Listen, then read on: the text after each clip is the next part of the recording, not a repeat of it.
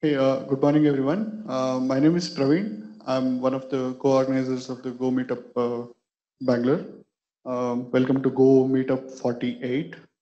Um, so I'm one of the co-organizers. Ankur over here at the back is another co-organizer who's here. Hi, Ankur.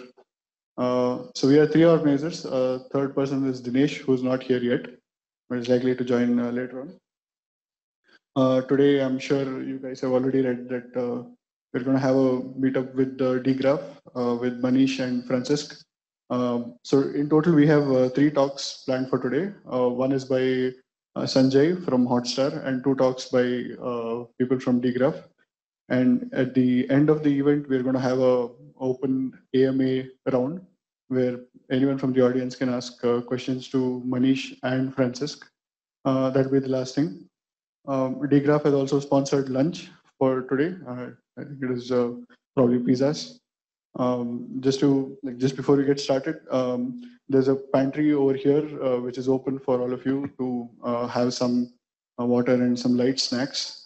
All the restrooms are down the alley, uh, so feel free. Uh, like before we start off, it will probably be 10, 15 more minutes before we start. So if you'd like to take a break and have some refreshments, please do. Um, yeah, once we once we start off, we're going to have two talks back to back with a small break in between, uh, and then another talk later on for a for an hour, uh, and that'll be followed by uh, snacks or lunch, um, and uh, then the, then we'll have the AMA round. Uh, so if you have any further questions, uh, please feel free to reach out either to me or to Ankur. Um, and just a poll: How many of you are here for the first time? Is this your first meetup? Nice. Okay. So welcome all of you. Uh, just to let you know, we we have uh, meetups every month, uh, typically at various venues. Most people are uh, kind of companies come forward and uh, um, are, generally open to hosting us. So it's at a different place each time. We typically have about 50, 60 people attending month on month, um, and we are expecting a slightly larger crowd here today. So let's hope more people turn up. Um, so we, as uh, Golang Bangalore, we have two initiatives. One is the Go monthly meetup. Uh, we also have something called Go Study Group India, which is a which is an online meetup of sorts, which we occasionally host. We used to host it uh, every two weeks uh, on a Thursday, which is a one-hour Zoom call, which people can just attend uh, from their homes, and uh, that gives a different avenue for having a different set of um, uh, either either a presentation or some sort of a uh, code jam and things like that. Um, so these are two things that we do. Um, a new thing that we are starting off is uh, the women who go uh, chapter in Bangalore. Uh, this is for all the women who are here. I see one who's all, already part of it. Uh, so so that is something that's going to start off from this month onwards. Um, so please feel free to reach out uh, to Ankur or me uh, if you have any questions and if you'd like to volunteer or help out. Uh, we'll be here throughout the event. Um, thanks. Thanks for coming. Uh, for the first talk, what we have is higher order functions in Go and how we are using it at Hotstar. A little bit about me. So my name is Sanjay. I'm a software engineer at Hotstar um, working with personalization team here. It's during the whole tenure at uh, Hotstar, I've been using Go to build uh, services. And uh, before that, I was a full-time Java developer. So um, uh, I'm not an expert at it. So please bear with me if the talk comes out to be very basic. Uh, and about Hotstar and what gets me excited and running here every day. Uh, this is the kind of scale we deal with. I'm sure you would have heard about the concurrency numbers that we have reached. And uh, it's not just the concurrency, it's just about the whole data flow that goes in and goes out and how much our services churn. So we do around 1 million event ingestion per second. Uh, all these events come with huge storage. So we are around 14 terabytes of storage. And then even the consumption patterns goes as high as 8 terabytes. So working at this scale, like excite, these problems are not something which you will see outside. So it, this one is pretty unique to Hotstar. And for what are we covering today? Uh, we'll cover how we are using Go at uh, my team, which is personalization. Uh, how did it all start with Go? And uh, what happens when you write Go the Java style? And then uh, what are the problems we face? And then how, how did high order functions sort of helped us uh, do things better in Go than what we used to do in Java?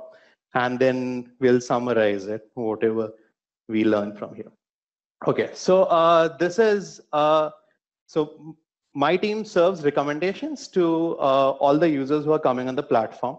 And uh, what we do is we process a lot of events and we generate recommendations and then we serve out.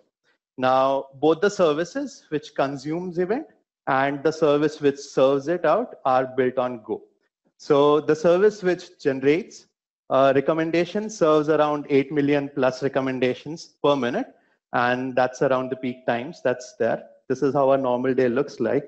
And in terms of event uh, consumption, we do roughly 1 million plus on a day-to-day -day basis on days which are peaks of for say IPL or World Cup days. Those are even higher for us.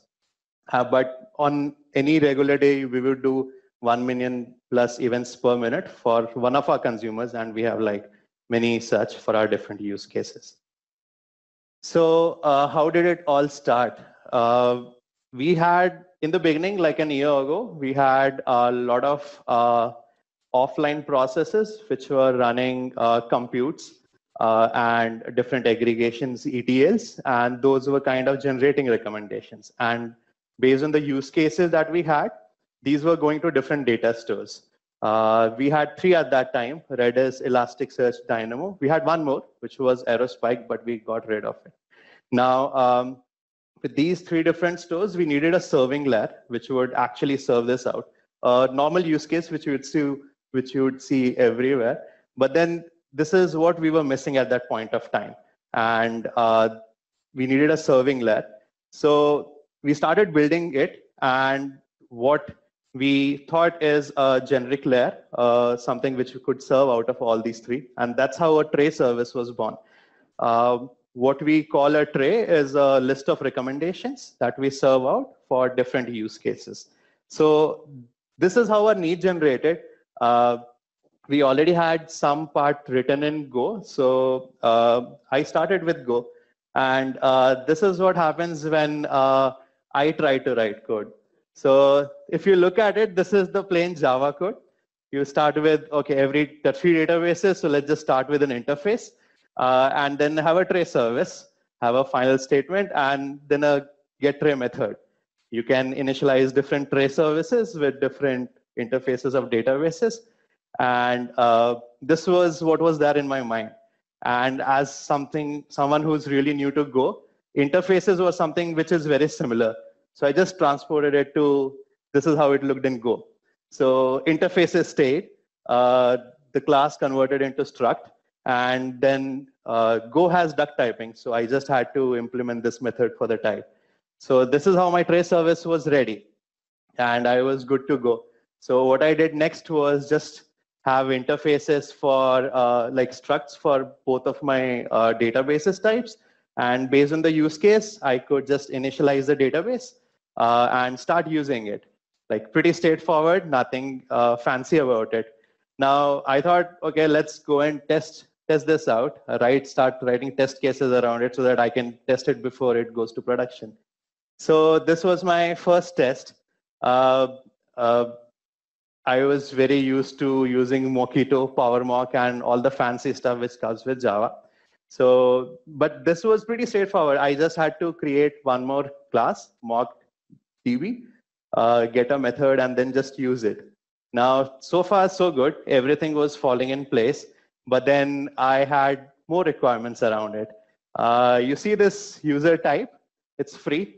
Uh, I wanted to test more things out around how is it if it's premium. Uh, we have many such packs at Hotstar and subscription types, and this governs how do, which content do I serve you? Do I serve you premium more or VIP more? Now, how do I test this out? Uh, the method doesn't take anything else, and um, there's nothing much I could do. So this is where I was stuck. Uh, so I moved on. I read more about it, but then I found out that I was doing things wrong. Uh, Go is not Java. I could, I, this is what I did next. I created two structs, uh, a free database and uh, a premium and two methods and then use it in two different classes. Uh, very naive, uh, didn't feel right at that point of time. So I thought I would be doing something wrong at some point of time. So I read about it and uh, this is what I found out that Go was primarily built for robustness. Uh, there's a very nice talk by Francesc on robustness. I, I suggest you go through it.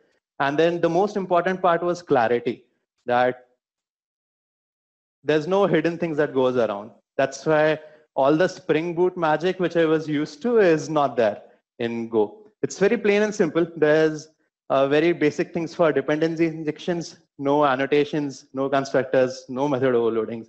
I can't have same name with different parameters. Very frustrating in the beginning, but yeah, I got used to it. And then no exceptions. There was this concept of error, which I was very new to. So I read about more about Go and I found out functions. Uh, there's a plethora of different type of functions I could have.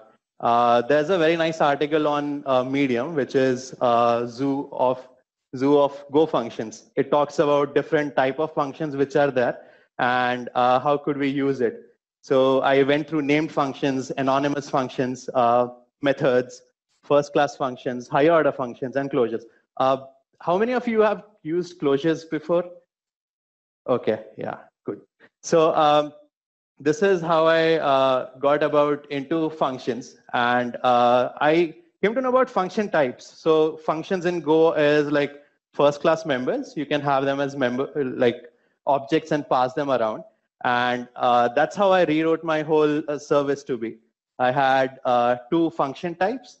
One was for getting user and the other was for getting trade. And all I could do was just pass that function. And uh, this is how, uh, so this is a high order function, uh, which returns actually a function out of a function. And how I used it was this. Uh, these are closures. So closure is something which uh, covers up uh, variables and holds them up. Uh, this is what we I rewrote for uh, Dynamo and Redis. Uh, these two methods would send out functions for getting users out of these databases. And now getting users looked simply like this, these two lines. Uh, felt way lot better than what I was doing before in Java. And then covering to testing. This is what I was struggling before when I was doing with uh, Go interfaces. And this is how I had now. Now, since it's a, now since I'm using higher order functions, I could pass any number of variables here and it could close all of them in my inner function that's returning. And this would just shell out the result of a user. And the same function, I can use it in any number of use cases. Now, if I want to test more things out, I could just add it to my uh, higher function and it would just flow in uh, at rest of the places. Seems very clean, very neat than what I was doing before, uh, way a lot more happier than uh, earlier. Now, uh, this was this whole journey of me uh, transitioning from Java style of coding where I was very used to interfaces and then coming on to more towards functional side.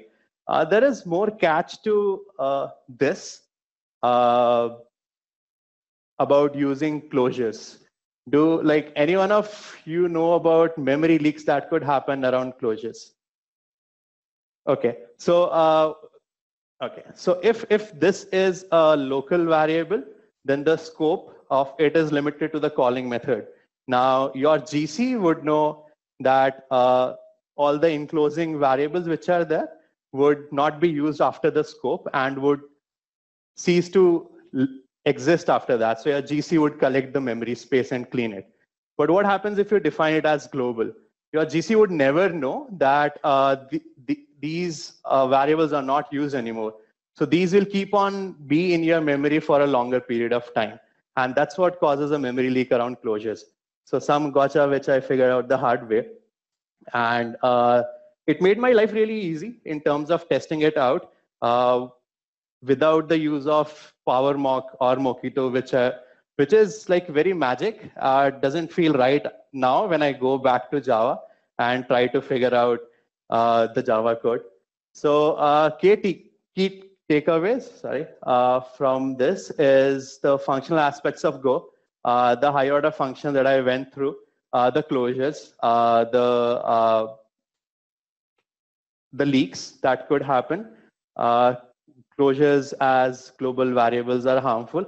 And this is not to take anything away from interfaces, right? This was primarily a use case which was very suitable for us. So if you have interfaces which are which have single methods, then probably there is more merit in using uh, higher order functions and closures to support them rather than sticking with interfaces. But if you have uh, more complicated use cases around uh, multiple methods, you need to break down into multiple functions. Then in that case, interfaces still uh, good. Plus, if you want to expose more than what your uh, interfaces does. So since uh, Go does duck typing, you can anyways have builder things and other things that go to, goes around. So uh, not taking anything away from interfaces. Uh, this was just a opinionated uh, view on what someone coming from a different language background has on when he makes a language transition. Uh, I think uh, that's all. And if, if, if you guys like about uh, what my team does or um, what I've talked about so far, uh, you can check out our website. There's a lot more fancier stuff than what was there in this talk. And you can uh, go through our blogs. I think uh, that's all for this particular talk. Uh, thank you. Uh, so, uh, not sure, like, since this was a very basic talk, um, any questions if there are still any? Yeah, yeah. Yes. So I don't think you have to take care of that and go, right? Uh, when you start uh, with a pointer and then when you, so there is no concept of null in uh, uh Go. There's a nil thing, but I'm not sure whether you can initialize it for a pointer type. So that problem doesn't happen here. Uh, anything else? Uh, does Golang no. provides a stream kind of thing in Java 8? What we have. Uh, sorry, Vanita, I don't think I can hear this. Uh, is there any question? Uh, anything on Zoom? Yeah. No? Okay, question. cool. Thank you. Uh, yeah, please. Yeah. Miss most from uh, Java. Uh, to be honest, I don't think I miss, miss much any now. yeah, I think that's all. Yeah. Initially, I was missing a lot about collections. I mean, simple things as set uh, not there. I have to write things on my own. Very difficult, but then there is merits to it. Yeah.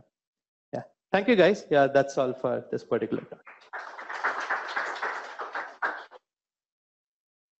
So, hi everybody, I'm Francesc Campoy, and uh, today I'm going to be talking about dgraph uh, and in general graph databases and a couple of things that we that I built as a demo which is basically trying to explore the world of Pokemon with uh, graph databases.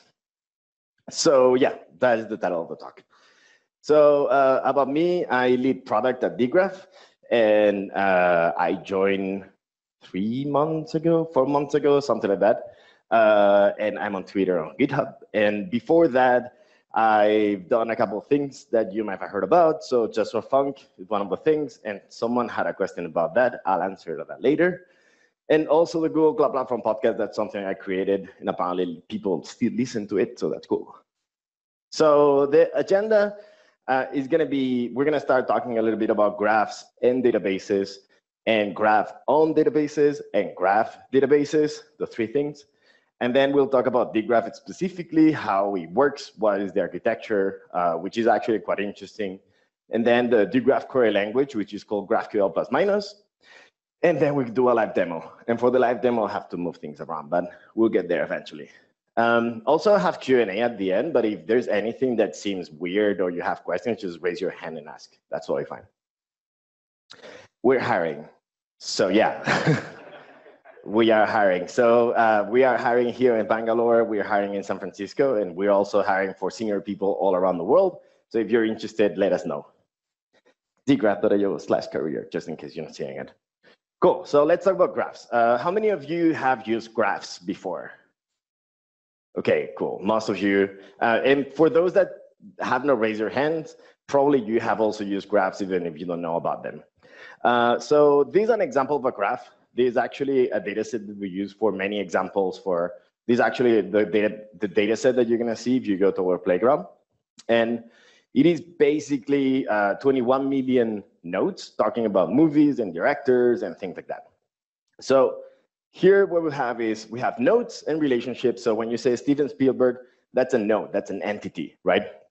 Jaws is also an entity. And the fact that Steven Spielberg directed Jaws, that's a fact, and it's represented with a relationship. That relationship is directed, right? Someone directed a movie. That is a, a and that's it. That's everything you have on a graph, okay? Basically.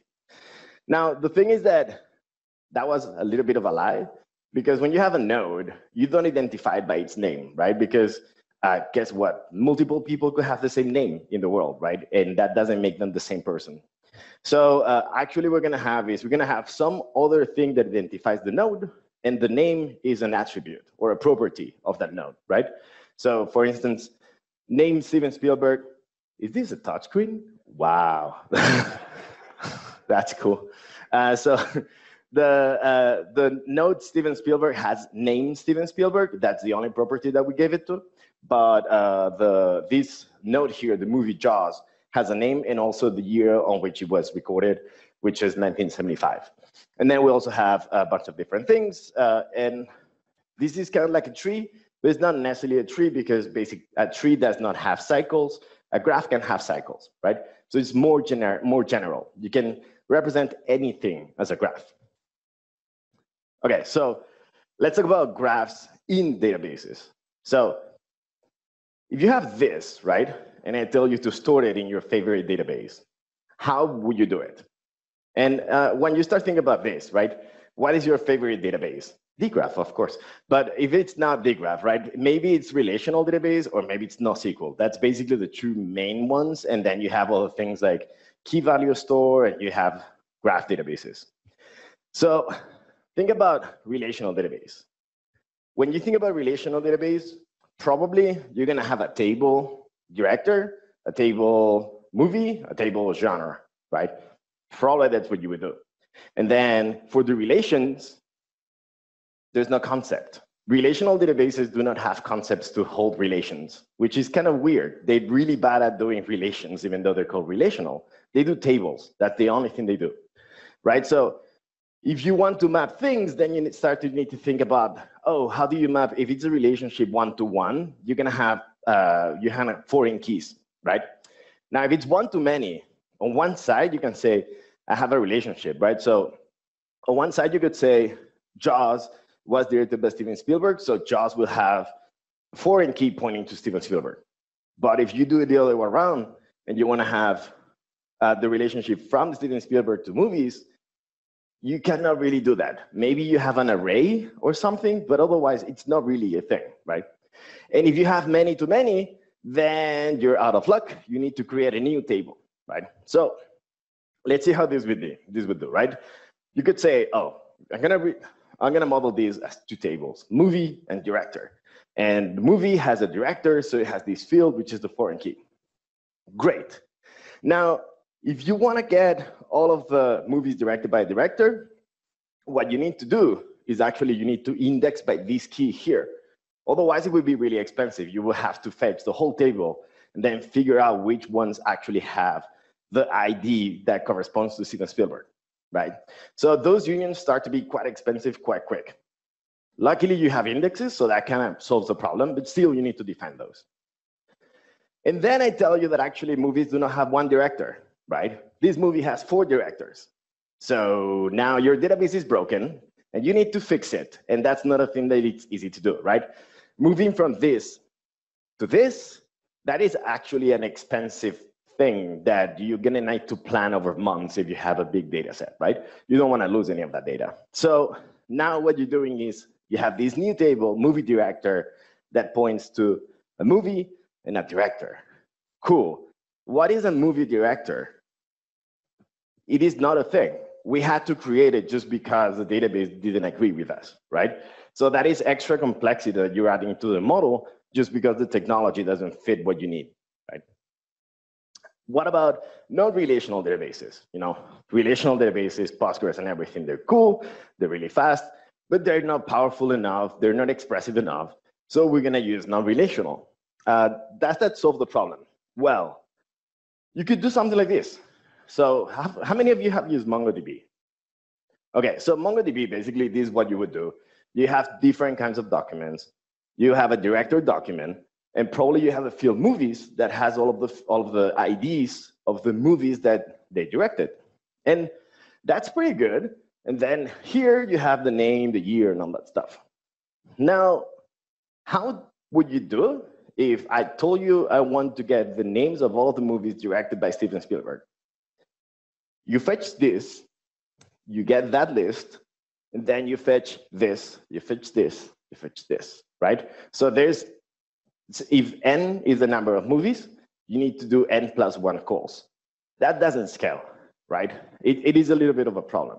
So, you know, this is not good enough. No worries, we fix it.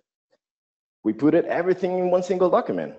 Easy. Now it's one call. That scales much better. But what do you do if you want to get something slightly different or a movie has more than one director?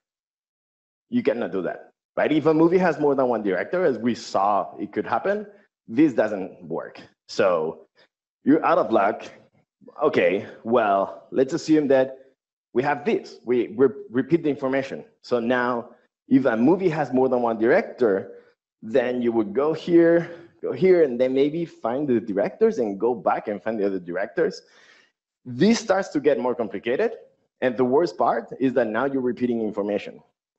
So now if I say, oh, I'm gonna update the information about the movie, you know, uh, Jurassic Park, uh, apparently something in it is wrong and I fix it. And I fix it here, but I forgot to fix it here. Now you lost the consistency of your database, and at that point, why do you have a database, right? Like the whole point of a database is to help you be consistent. So all of this is, you know, these are things that there's techniques. There are techniques to fix these issues, but still, you need to apply those techniques. You need to think about that. So that's why we have graph databases, right? And in a graph database, what you do is basically, you remember that model that we had with the, the movies, the directors, and all that stuff? That's it. That's what you store, right? So instead of thinking about the different tables or the different documents and stuff, what you have is you have nodes and you have relationships. And that's it. So let's think about, let's see about how you do that. How do you do data graph modeling? How do you model your uh, data, how do you model your data to fit in a database, in a graph database? So you have two different things uh, according to what we saw in the previous model, then we'll see that actually these two things are the same.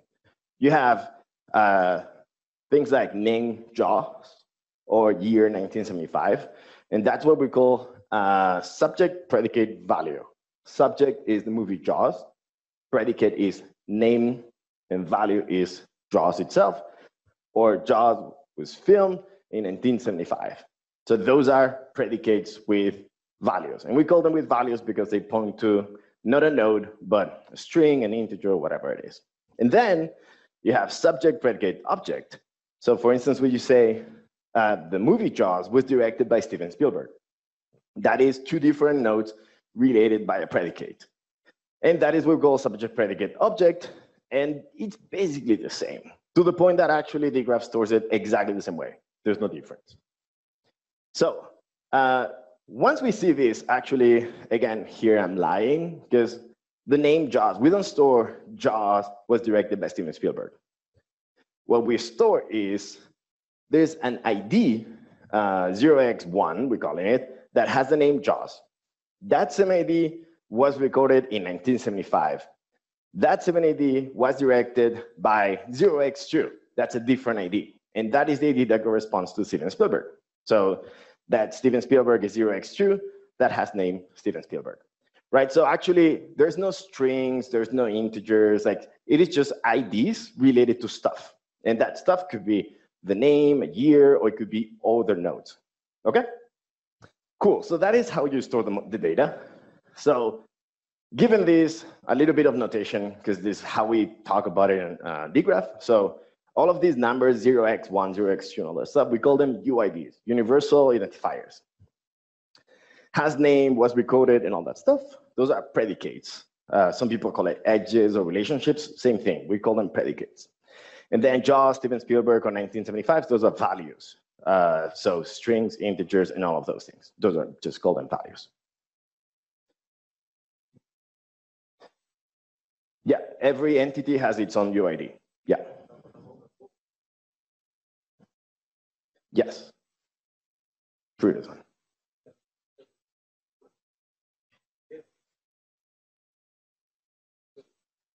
So here, this, every node, every circle has its own UID, right? And then attached to that UID, in this case, you're gonna have two different predicates, name and year. Those are predicates.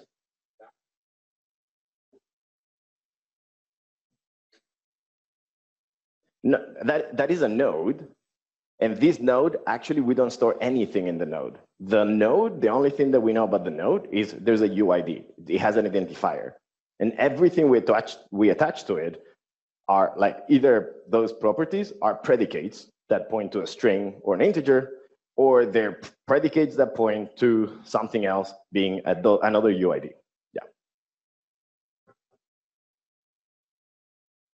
Sorry? Do the nodes become the identifiers? The nodes disappear. There's no nodes. There's only UIDs, predicates, and values. Oh, yeah, actually. For later.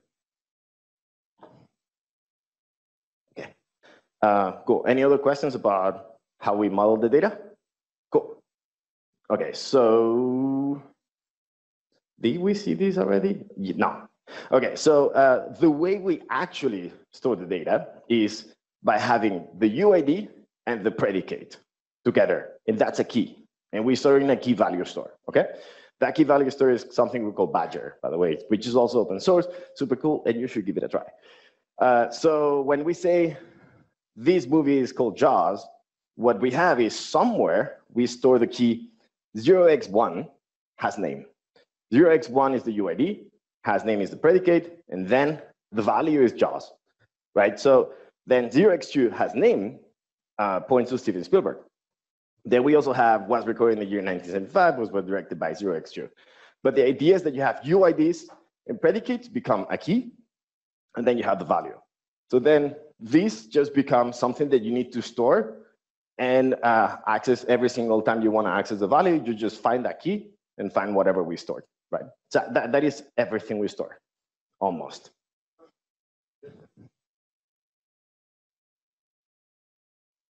Hmm? We'll get there. So the question was, how do you traverse the data, the database? And that is the next slide. So we'll get there in a minute. Um, but yeah, this is how we store the data. So now, how do we? Yes. How do you uh, model cycle?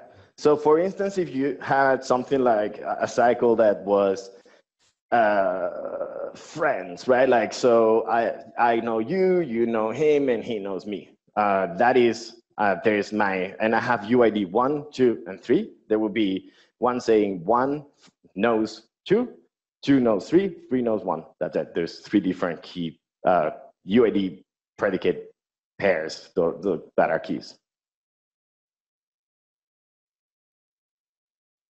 Yeah, yeah, I, am gonna try. Throw something if I don't.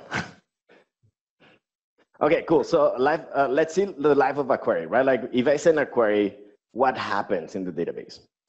So uh, the first thing is you're gonna start, you're gonna find in, from what node you're gonna start, right? So let's assume that we know the UID. So it's UID one, it's me, that's it, right? That's where we start. That could also be a set, so we could start from multiple nodes at the same time and then do all the paths from there. But let's imagine there's only one. Then I'm gonna say, okay, so who do I know?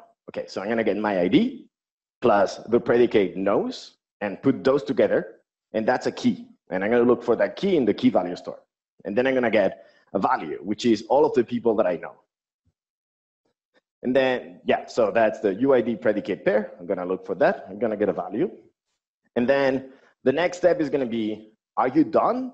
Or what else do you wanna know? Let's say that I actually want to know all of the names of the people that I know. So once I get the list of the UIDs of the people that I know, from that list, you're gonna append for every UID the predicate name and get that value, right? So, and that's pretty much it. So if you wanna go farther, farther on, you just keep on repeating those steps over and over until you find what was requested. And the good thing is that until you get to the end, right? Until the point where you say name, which is a string, before we only work with UIDs, and those are integers, right?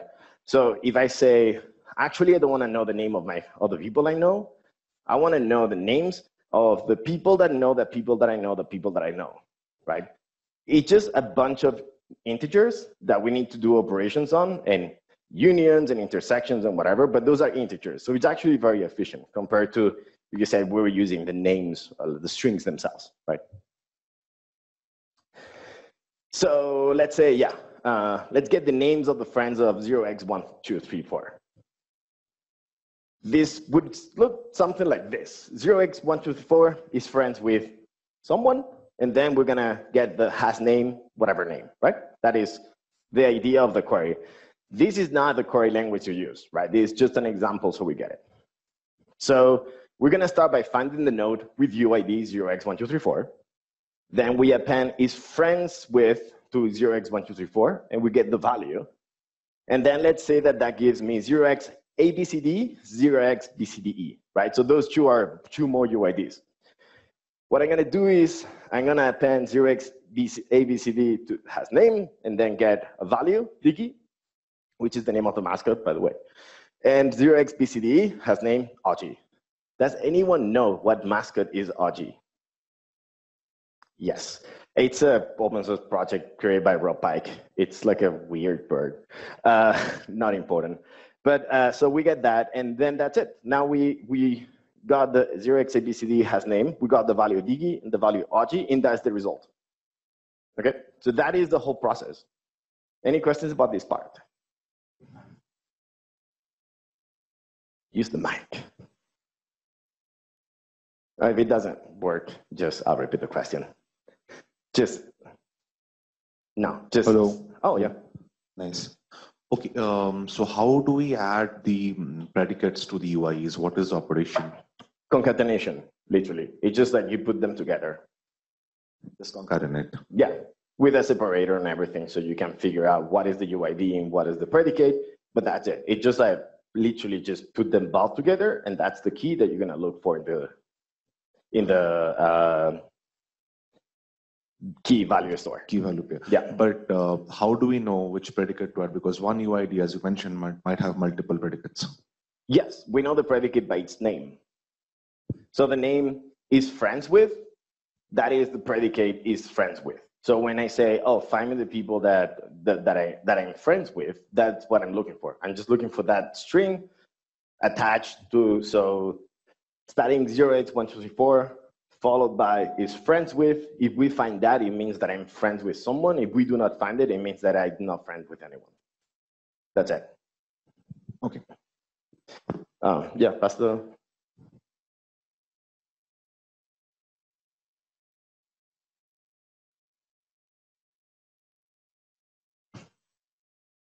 Hello. Yeah. So in real life, uh, what if uh, the query is something like, give me all the names of the friends of uh, Rob. Yeah. So here we have to go back, like I have to find. Yes, the we'll ID. get there in a second. Oh. Yeah. Yeah, uh, earlier example, you have uh, names of uh, movie and names of a director. Yeah. So there are two contexts to that. So has name will return. So is there a uh, saving context because we can do has movie name or has, but in that case has name won't return anything. So we have to re- uh, add two different set of thing or can we No. add some kind of context? Name is one predicate, no matter what node or type you're thinking about. So whether it's a movie or a director, they both have names. So we'll store it exactly the same way. There's no way to, well, there's some ways, but the way we store it, there's no difference in between uh, 0x1 name Steven Spielberg, 0x2 name Jaws. They look exactly the same. Yeah in case we want to find all the movie names or like, uh, so in that case, like just having We'll get there. Yeah. Uh, so yeah, we return Digi and Aji, which were the strings that we're looking for. Okay, so uh, the question that uh, he was asking about is, sure, 0x1234, it's great, but what if I'm actually looking for the friends of Rob, right? Who's Rob? We first need to find them, that person.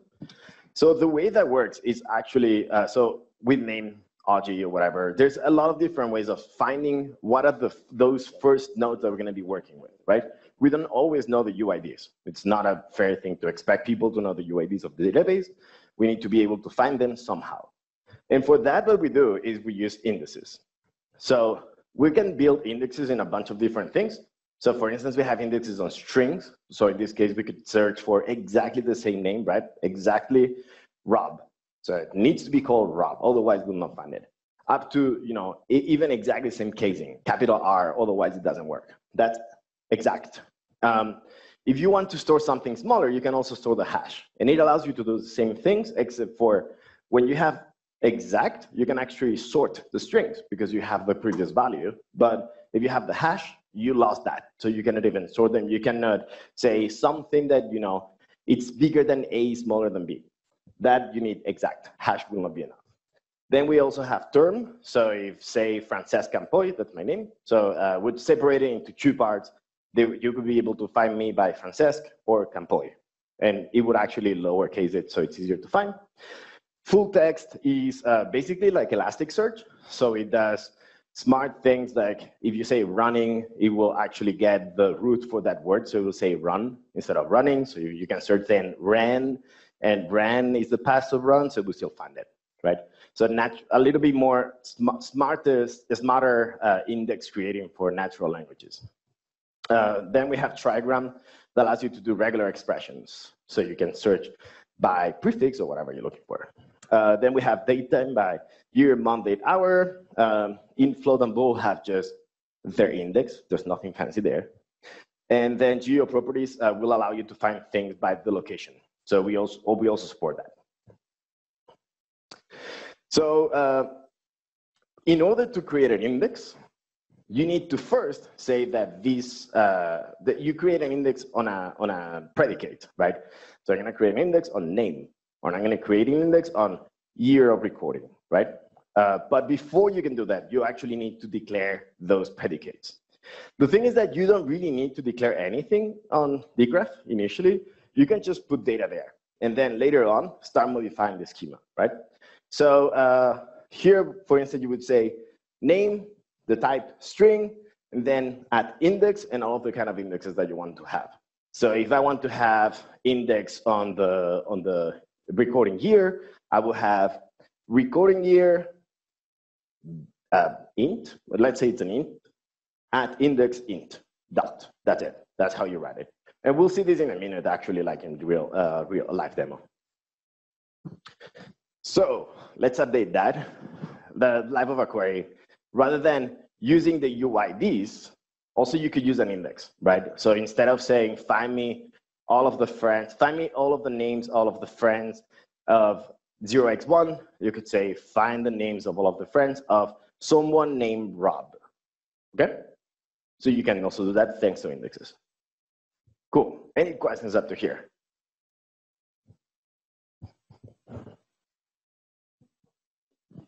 Oh, we have a, Can Yes. you hear? yeah. Yeah, we have a few questions here. Instead of considering it, does it actually use a document like thing where you have a key of 0x1234 and value of whatever predict predicate name instead of having a separator between them? Uh, so we do not store a document. We do not store like a JSON document. We actually just store. So if you have a person has name, age, and location, that will be three different predicates, and they're set. They're stored separately. So if then you want to fetch all of those things, you need to say, I want to fetch the three things. But also you could fetch only one. So basically, it makes it so you know. Uh, ha has anyone used GraphQL?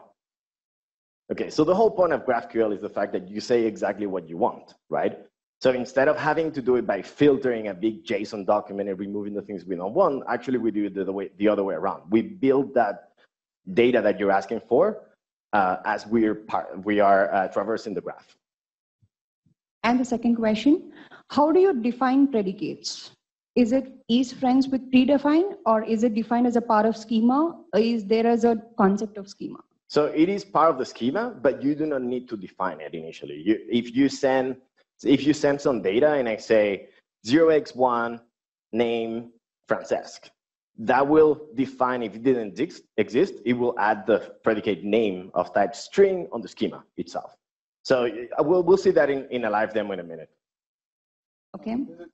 How do you handle same predicator multiple times, like multiple movie director for a single movie? So uh, uh, what we store in the value, actually there was an example. Oh, it died. Okay. uh, why did it die? Okay, so yeah, so here we have an example.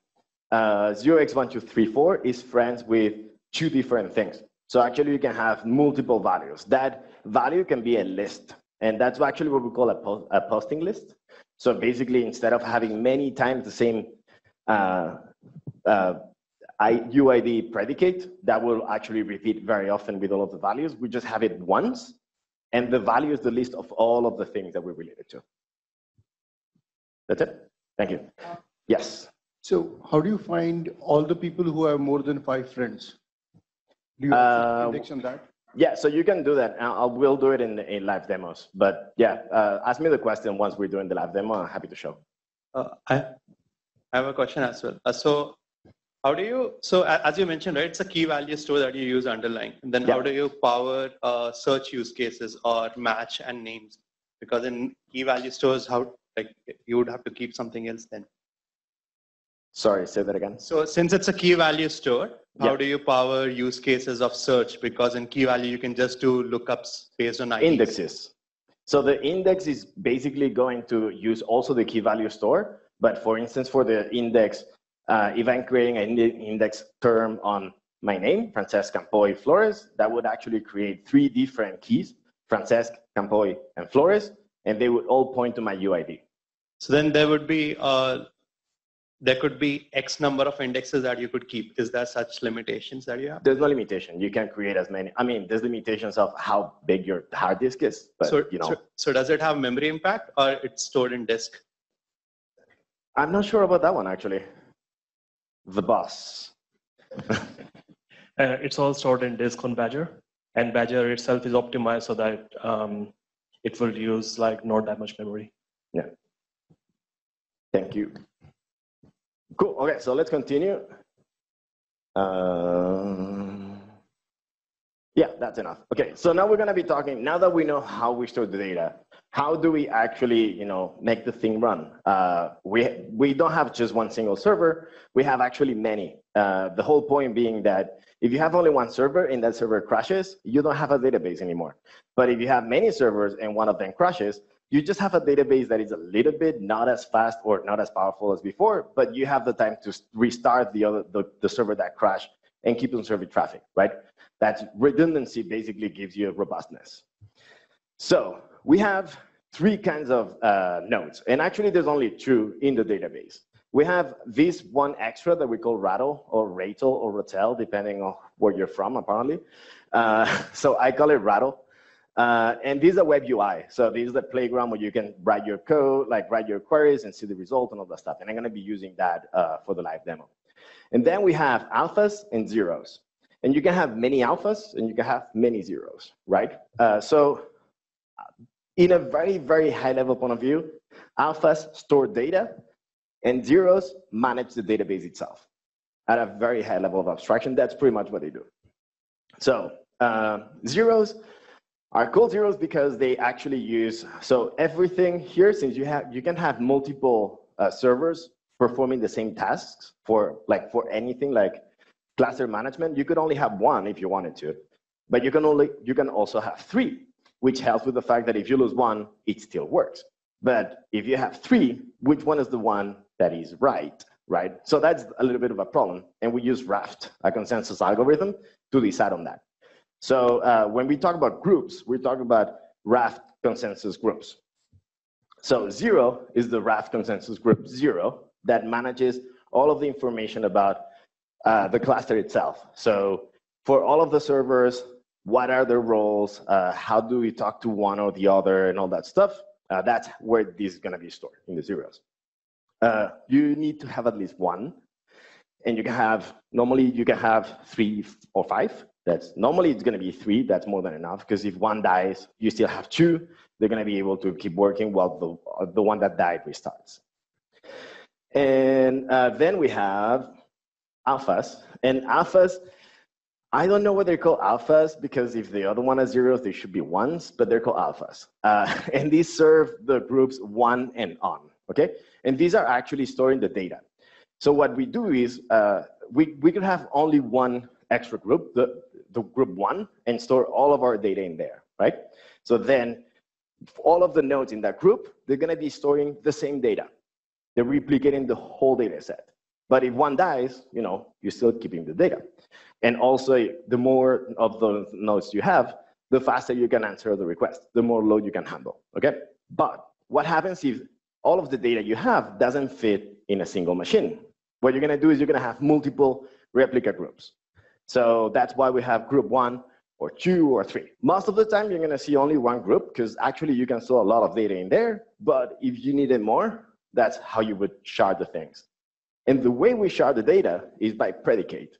So let's say we have only two predicates, name and age, and they're all so big that they do not fit in a single machine. Probably you have group one serving all of the data for the predicate name, group two serving all the data for the predicate age. Okay? Cool. We're hiring. okay, and then Rattle, which is the web UI. And uh, it is very useful for for data exploration to the point that I've heard uh, some of our customers saying that they dump uh, JSON data into this and then they explore it. Right? You don't need to do anything else. You just dump JSON data, and now you see it as a graph. You can navigate it. It's pretty cool. So yeah, Rattle alphas and zeros. Rattle or any client is going to send the queries to alphas, and alphas are going to talk to other alphas if they do not have the data that they need to, to, uh, to answer the, the response. And also they're gonna be talking to zeros to figure out what they're supposed to do. Okay, and zeros also talk to each other and manage the cluster. Cool. Any questions about this part? Yeah.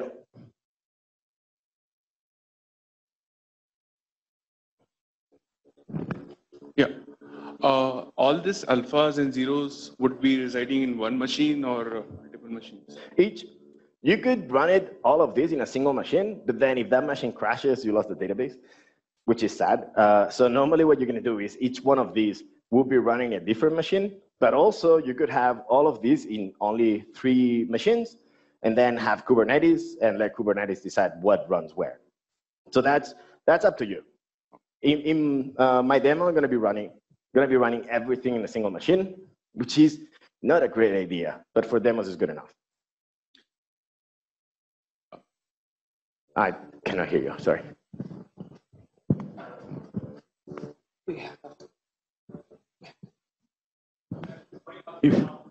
Oh, it's fine. Yeah, so my like data is uh, my data is distributed in multiple alpha. So my rattle will talk to one alpha or it talks to multiple alpha. Talks to any of the al- any alpha. You can No. talk to any of the al- just no, one. any alpha, but Yeah. it always talks to one alpha, right? That's up to you. You can choose which one you talk to. Any of the alphas will answer any of the queries. No, but they will be the- able. If they don't have, if, if this if one, they don't have the data. so if this one doesn't have the data, This one will send a query to the one that has the data, and then we'll send you the data. So it will act as a proxy. So you don't need to think about what you should talk to. You should talk to any alpha, and they will have the data. Uh, uh, hey, this is Karan. I work at Gojek. We are potentially looking at using dgraph internally. So how well uh, does dgraph handle latency between nodes? Like, could I potentially put nodes in different regions? Yeah, you, you can. Uh, the only thing is, depending on how you're going to be running it, like eventually you could have transactions being a little bit slower because in order to achieve a transaction, I'm not going to get into the details of that because that's complicated. But uh, if the nodes that need to decide on anything, they need to talk to each other and they're really far, the latency can add a little bit. But in general, you can actually do that totally fine. Yeah. Because very often when you're going to be talking to an alpha, you can actually have replicas for the alpha storing the data in your own region. So that will be quite fast. Transactions require uh, talking to more machines. So that can be a little bit more complicated. But we can talk more in detail. Actually, it's Yeah, I'll good. take the rest of the questions. Okay. We can talk about that in the Q&A, actually. Okay. Yes. Last question. So uh, one thing before you keep the questions relevant to what I just explained. For general questions, we'll have a Q&A section at the end. So who handles uh, locking mechanism? Is it alpha or zero? Who handles? Uh, locking mechanism for transaction. Transactions. We'll talk about that at the end. Yeah, because that's yesterday. Was it yesterday or two days ago? We spent like three hours talking about that. So, yeah. Any other questions about this part? Yeah, so uh, zero looks like me, uh, it behaves like a service discovery, like Consul, because it has uh, Raft consensus protocol and Yeah. have quorum. So why you need, like, do, why you didn't adapt whatever is, whatever is there in the market like Consul as a service Because that would mean that then you need to run also Consul. Okay, this is part we- of, part of your product itself or you are running as a service? This is the Yeah. graph.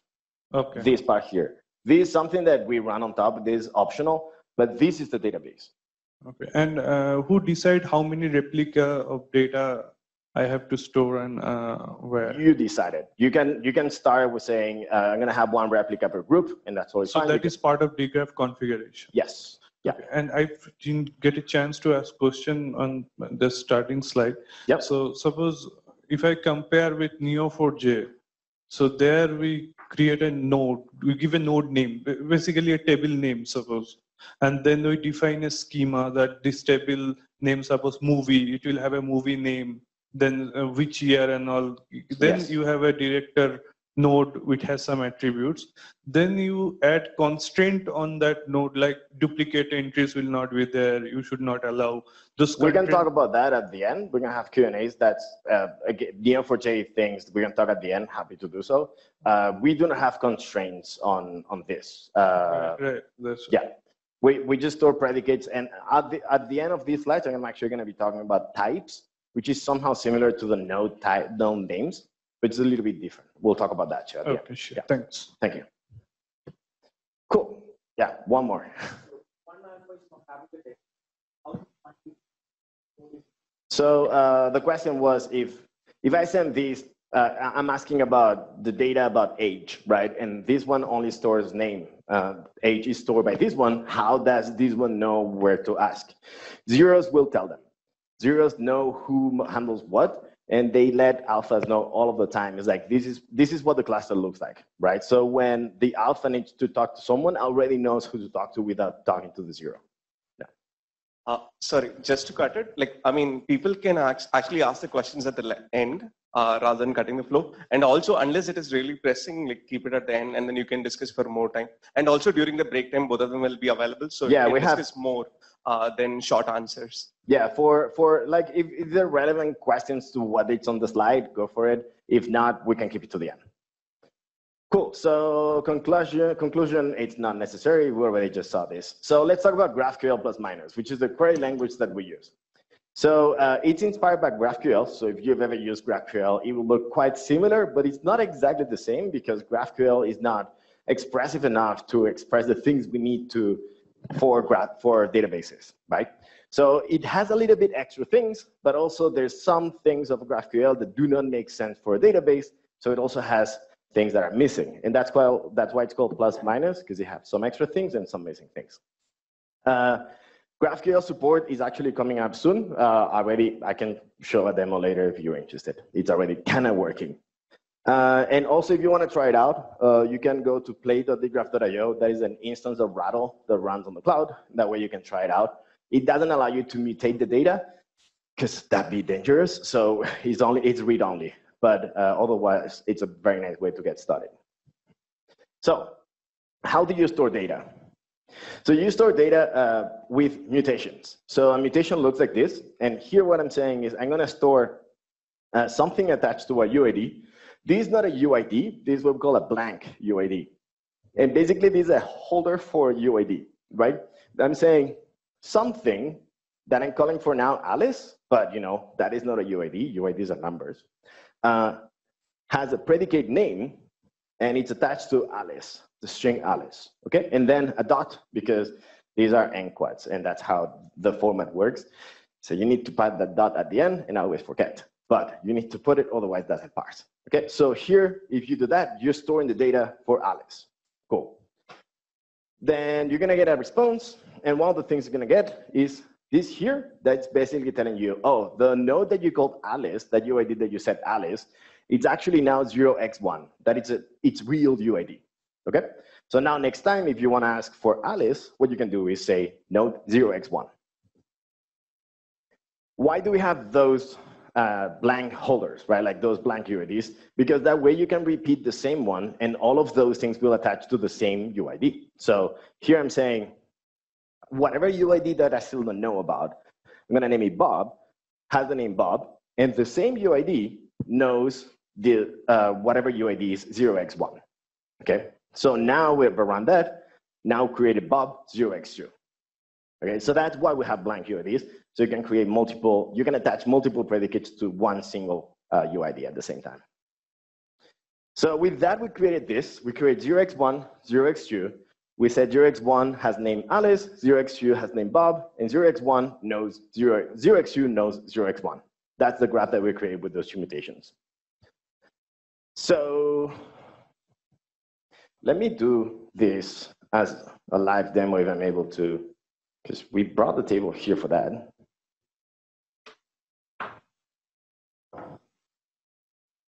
Oh, okay, so uh, I'm gonna run the database. So in order to run the database, there's many ways, but uh, I can dgraphql zero, that will start one zero, dgraphql alpha, that will start one alpha. So actually, I think I messed that up. No, okay, working. And then I'm gonna use Ratel connected to localhost, and I'm gonna send those mutations. So I'm gonna say said, uh, I'm gonna say Alice, let me make it a little bit bigger, name Alice, Bob, ooh, Chinese, no. Uh, uh, Bob, name Bob, that is a Chinese dot two, that's not gonna work. And uh, Bob knows Alice. So this is creating the same uh, graph as before, okay? So let's run that. That worked, and it created Alice and Bob. So now, if you go to the schema, you will see that this has been created directly, right? I didn't say anything. This, I just started this database, it was completely empty.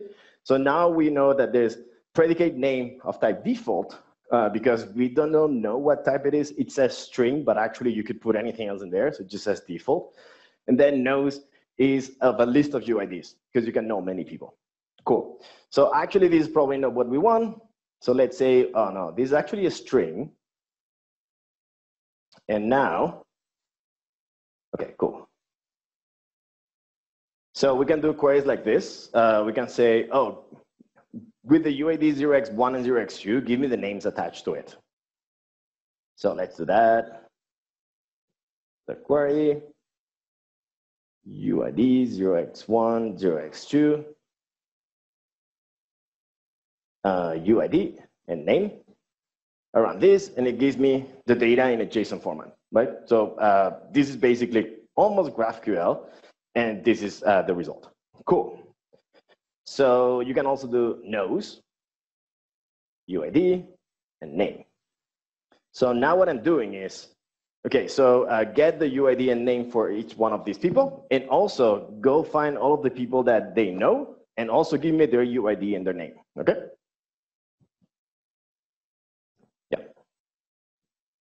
Uh, mm, no, it doesn't. Okay, that's the biggest I can do. Um, cool, so if I run this, oh, actually I ran it already.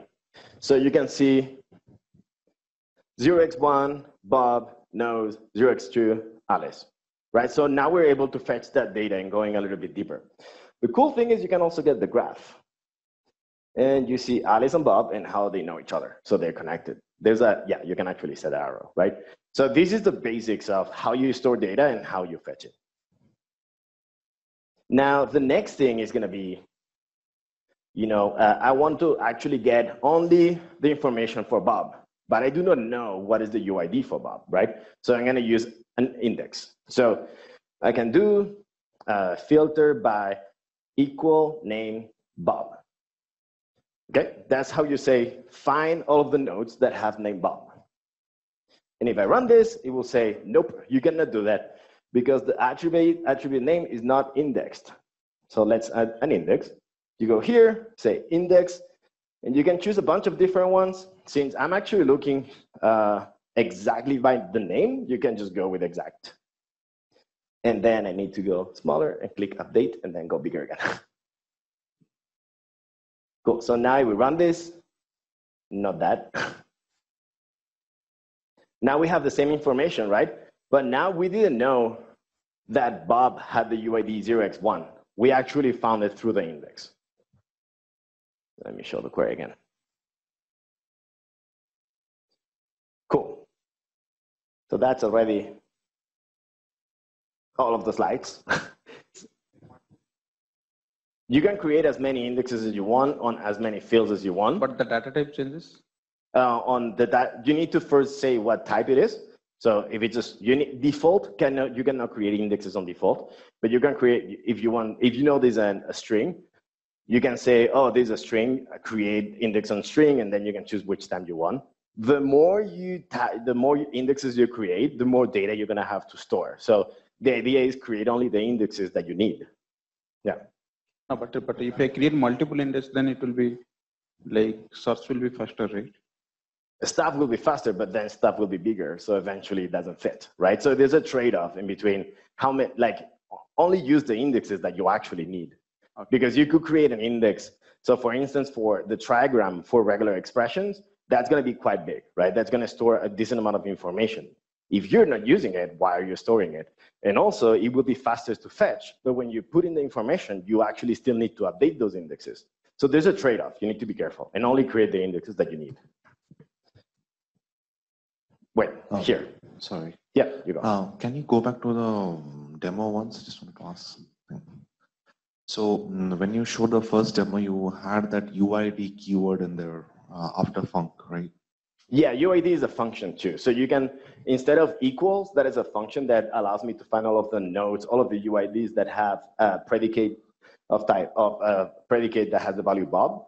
You can also use UID that will return all of the UIDs that you gave it to. So UID 0x1, that would be. So here, this 0x1, right? So this equals name Bob would be exactly, it would return exactly the same thing as this. But here, you need to know the UID. In the other one, you're using indexes, so you don't need to. Okay, thank you. Cool. Uh, how do you deal with uh, deep traversals? So if you have nodes. We'll get there. Thank you. okay, so uh, yes, so types. This is something that was added actually in the latest release, v1.1.0, that was released like yesterday, uh, like two or three days ago. Um, and uh, the idea is that the same way you can attach uh, predicates like name and knows and other things to any node, you can also attach a specific predicate that it's called dgraph.type, and then basically what you're saying is this node is of type person. For instance. And then that's enough. If you want to, that's enough. Then from there, without defining anything else, you can start saying, give me all of the nodes of type person. And that will work. But also you can say, what are the fields instead of a person? And then extra things will unlock. Okay, so you can start from just saying, this is a person. You can go a little bit deeper. So yes, so that's enough for now. Uh, this is how you define a type. This is a type person uh, that has a name string. It knows it's a list of UIDs. These actually, these should correspond to actual uh, predicates, right? So name is a predicate, nodes is a predicate. And then you can fetch them by saying, instead of equals or UID, you can say type person. And that will give you all of the UIDs of the nodes attached to the type person. And that's pretty much it for step zero. So let's actually do that in the live demo. So what I'm gonna do is, I'm gonna do, without doing anything else, right? Like I'm not defining anything yet. I'm gonna do 0x1 dgraph dot type person and 0x2. Actually, I think you need to do this so it parses. 0x2, thank you. Dgraph type, person. So now by doing this, I'm just saying, hey, these two nodes are of type person. Okay, that, that's it. I have not defined what person is yet.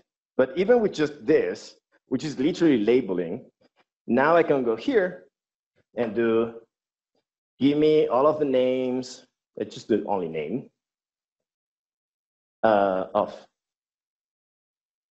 type person. And now it's giving me Bob and Alice because those are, those are persons, okay? So this is like the basic, basic level. And these are already super useful. And this is actually what I used for most of the things that you're gonna see later in the live demo. Uh, but if you wanted to do more, there's a cool thing called expand. And expand, what it does is it will find what are the predicates associated to this node according to its type and just expand that, okay? So do that. I'm gonna expand all. And if you do this, you get nothing. Why? Because we have not said anything about the type person. We have not defined it yet. So let's create the type. So types, add type, person, and let's say it has both predicates and create type. Cool. So now person is a type that is not just a label. We actually know stuff about it. So when you run this query, you're gonna see Bob and Alice. Someone might wonder, why is knows not there? And the thing is that knows is not there because if you write, basically this is like writing this. Expand all basically becomes this. If you run this, you get nothing. Why? Because there's nothing inside of that. Knows points to something, but you're not asking for UID, not name or anything, so then it doesn't return anything. So you can do UID and I works, or let's do name. Or you could also do this, which is kind of cool, expand all, and then expand all inside. And that doesn't work because I did something weird. Repeated subgraph, oh yeah, because name is already there. So you cannot repeat fields multiple times. So since name is already there, it complains. Cool, so now it actually tells me that Bob knows Alice. Cool, and this is because we define types. But again, you do not need to define types, but they're helpful for specific things. Cool, and I think that's enough for types. Um, I'm gonna show you this really quick. Uh, when on my live demo, the way I assigned types was, eh, you know, like this works, but you would not do this in production, right? Like getting UID by UID and writing them. So there's actually an interesting thing to do, which is, you know, find all of the, find all of the nodes that have the predicate name, for instance, and say that all of those are people, they're person, right? So that is what an upsert does. So an upsert, you would say an upsert, whoops, uh, query everything that has a name and put it in this variable people and then set all of those UIDs to dgraph type person. So this will get all of the nodes that have names and say those are now of type person. So then for the rest, you can keep on working with those. Okay, these are a little bit more advanced, but I thought it was kind of cool to show. So cool. And there's much more. And there's actually a pretty long live demo, but I don't know if I should be doing it now. Yeah. Okay. Cool. So on the demo now, we're gonna see a bunch of other things that you can do with the database, and also we're gonna see Pokemon. Yay! Uh, all of the code for this is uh, there on github.com slash campoy slash pokegraph. Uh, it's open source. The data that it uses is also open source, so you can, it's actually not open source because I forgot to put a license, but I put a license and then it'll be open source. Uh, so this is the data, uh, it comes from Poke API, which is a REST API. So uh, instead of using the REST API, I just got the, the GitHub repository holding all the JSON files, and I use that because it's much faster, especially in India, especially in a hotel in India. so uh, cool. Uh, so yeah, we're still hiring. Uh, so let's go with this. So I have this instance running Docker, and it's running you don't need to see much, but it's running an alpha, a zero, and Ratel. So it's running these three, uh, these three things in one single instance of Google Cloud Platform, okay? So I can connect to it by doing this one, yes. Okay, so now I'm gonna need actually, one second.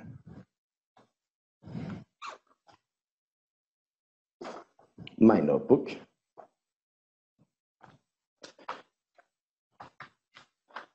Uh,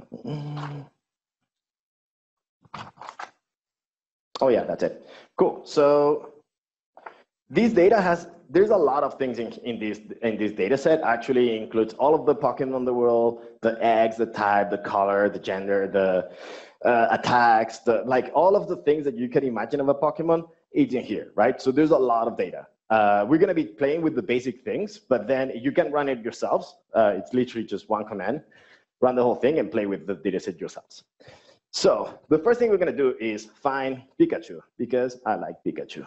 So we're gonna do it by doing uh, equals name Pikachu and give me the name and the UID.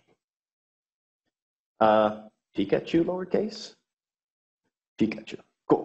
And there's three Pikachus. Um, why is this? Well, let's see a little bit more. What are the types? Okay, so there's actually three different ones. Let's see. Let's render them. This one is Pokemon form. This one is Pokemon species. And this one is a Pokemon. Because guess what? Pikachu is of the species Pikachu on the form Pikachu. So that's why you see three times. They're different things. They all have the same name, right? So the same idea of here types actually help you identify a little bit because they all have a name and the names are all the same. So now uh, we one question. Yes. Is the type a slice? Yes, you can have as many types as you want. So at, for instance, you could create, uh, you know, Steven Spielberg. He's a person, yes, but he's also a director and he's also an actor and okay. he's probably also other things, right? So you can have many types associated to one and use the type that you care about, in depending on the context. Mm. Yeah. Cool. Cool. So since they have types, we can go see, and actually this is kind of cool. Um, let me see on the this repository. If you go to type def, this program which is also written in Go, which is good because it's a Go it's a Go meetup. Uh, this uses dgo, which is our Go client for dgraph. And what it does is it fetches, so fetches all of the predicates from the schema, fetches all of the types that I have designed, defined, and then what it does, it matches them together and it generates a schema for you. So you can run this on any database, on any dgraph instance, and it will work. Uh, when you generate, when you run it, it generates something like uh, no, graph uh, types of schema. So it generates something like this. with all of the different types and the, uh, and the predicate. So I use this program to generate the schema from scratch. And that way I'm able to do things like expand. So on the query, we can go now and say expand all. And that's pretty useless. Uh, so if you see the JSON result, it actually added a bunch of things, right? Uh, it added the weight, the location, whatever the name that is default. So it added a lot of things, but there's no extra relationships. Why? Well, because actually, if you want the relationship, not only you need to write the nose, but also somewhere something inside. Otherwise, nothing works. So you can do expand all again. That's going to give you more information, and the graph all of a sudden starts to be more interesting. So now you can see that Pikachu lives in the forest. There is a quadruped that likes the ground. It's of, uh, let's see, it's of species Pikachu, which is of color blue, red blue for some reason. Oh no, red blue is the game. But all of these things, you see, like you start generating all of these things quite easily. There's a cool way of doing this too, which is recurse. So if you do depth one, you're gonna get the first one that we had. Depth two is expandal with an expandal inside. And I'm gonna do three, but no more than that, because this starts to be quite big. And uh, yeah. so let's expand all the things. Okay. So this is all the information uh, connected to Pikachu at like two levels. So this starts to be a lot of data. So uh, dgraph's totally fine with that. Chrome though, not that much. So that's a little bit the problem. Uh, cool, so let's do something else. Let's actually use the types and say, in, in Pokemon, there's genders. So let's see what are the genders. Uh, I did something weird. Oh yeah, uh, there you go. So there's three genders, male, female, and genderless. Cool. So from there, let's find, uh, let's see. So genders actually, they have a Pokemon species details. That is a list of species that have the, that gender. And then there's extra information in there, Pokemon species and name. So now what I'm gonna do is, I'm actually gonna expand the whole thing. It's probably a bad idea, but too late. I cannot zoom off enough. There you go. Yeah, that's already full screen. Let's see. Okay, so you can see this is male, that's female.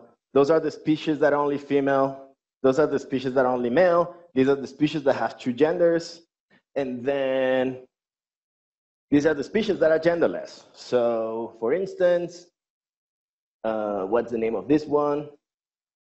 Azelfs are genderless. Uh, this is, this one here is, oh, I forgot to put name on the gender. So let's do name too. Uh,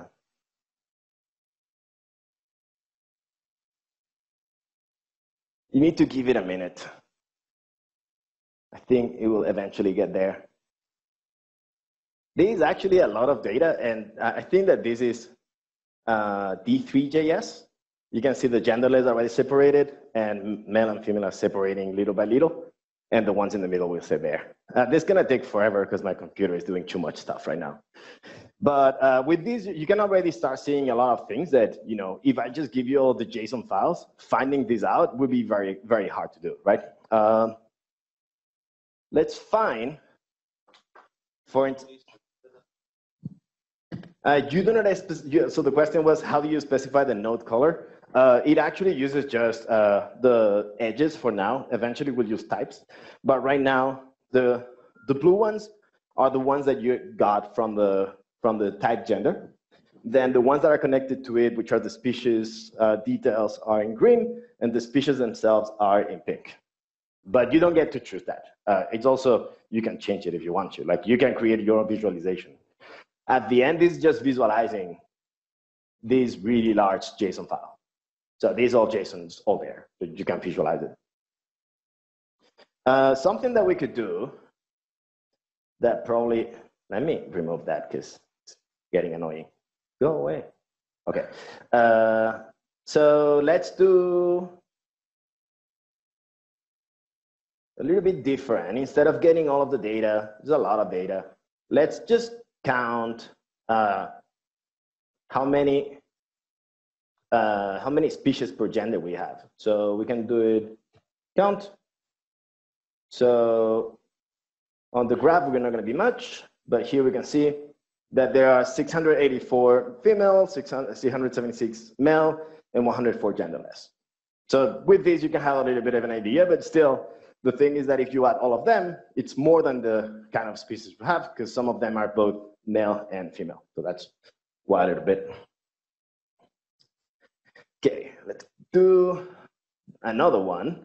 So this one is gonna be, we're gonna go with all of the Pokemon. We're gonna find all of their types. And for every type, we're gonna get the name. And types are like things like fairy and flying and things like that. So for instance, actually get, let's get the name of the Pokemon too. And the name of the, yeah, that's enough. So gloom is of that grass, etc. We can render that. Render, render, render, more, more, more. And this eventually will create something that is kind of hard to see, but all of the blue ones are Pokemon. All of the pink ones are the types. So you can start see them how they group to each other and all that stuff. But uh, let's say that, you know, what this is showing me is that this is messy data set, right? There's a lot of things going on in there. So let's say that I want to find all of the ones that, you know, they only have one type, right? I want a beautiful graph, and that beautiful graph, they cannot have too many edges. So I want to get only the Pokemon that are of a single type. So you could do this by doing, uh, wait a second, uh, types, yeah. So we can do filter by count of types is one. And I'm sure I'm missing parentheses. Uh, filter one, two, three, one, two, three. Okay, that was good. So now these are all of the Pokemon that only have one type. So this should render much better. So yeah, these are all of the Pokemon of a single type. So the things in the middle, those uh, pink ones will be the type. So this type water, and you have seeking and all that stuff. Uh, so that is, those are filters, right? And you can apply filters in at any level. But here we're filtering at the top level, counting all the types and just getting the ones that have count of types equals one. You could also do gradient than and just get the ones that have a lot of types. Uh, something that'd be interesting is how many of them have two types, for instance. And actually, I'm not gonna render that. I'm just gonna get the JSON. And now you're gonna see that all of them, they tell you the two types there are, right? So for instance, gloom is both grass and poison. Cool. The next question is, what if I want to find all of the ones that are both, say, grass and poison? Right? That starts to be a little more complicated. And it actually requires a, another directive that we have. So let's say we're gonna start here. And what I'm gonna do is, uh, so let's set grass. So I'm gonna say this, I'm gonna call it grass. I'm gonna filter the types by those that have name grass. Okay, so that should return a bunch of things that have grass. Uh, cool, and some others that do not have grass, right? So Grimer is not of type grass. Okay, but we're gonna keep it like that for now. The interesting thing is that you can actually say, you know what? If, the, if anything in there is empty, just remove it. And if something has something empty, remove it too. So basically what we're gonna do is we're gonna be removing the elements that have something empty, and we're gonna keep on going up with that. And that is called cascade. If you do that, now you're gonna get only the ones that are of type grass. So you're gonna see only type grass in the center and all of the Pokemon going around.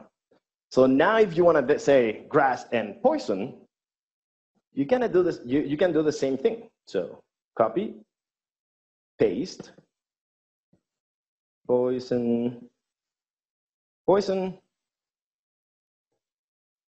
And these are the Pokemon that are both of type grass and poison, right? So you can actually combine things by using Cascade. And you basically like what you would do in SQL with N and stuff like that, you can use it thanks to Cascade. Let's see, uh, when I don't sleep enough, I don't write very clearly, so I have no idea what I wrote there. Uh, just the, oh yeah, so if you wanted to get the count, uh, nah, that's not interesting. I think this is probably enough. We saw, we're hiring. Uh, filters cascade, oh, normalize. Uh, so let's say, whoops. Uh, let's say that I wanted to get uh, something similar to this, but I want to get the, the, the type name. And right now, so we're gonna just remove all of this, go to the basic one. Okay, so if you run this, you're getting on the JSON, this extra structure that is, this is because of how the data is modeling the graph, right? So you have uh, the name, the Pokemon with name Gloom has many types.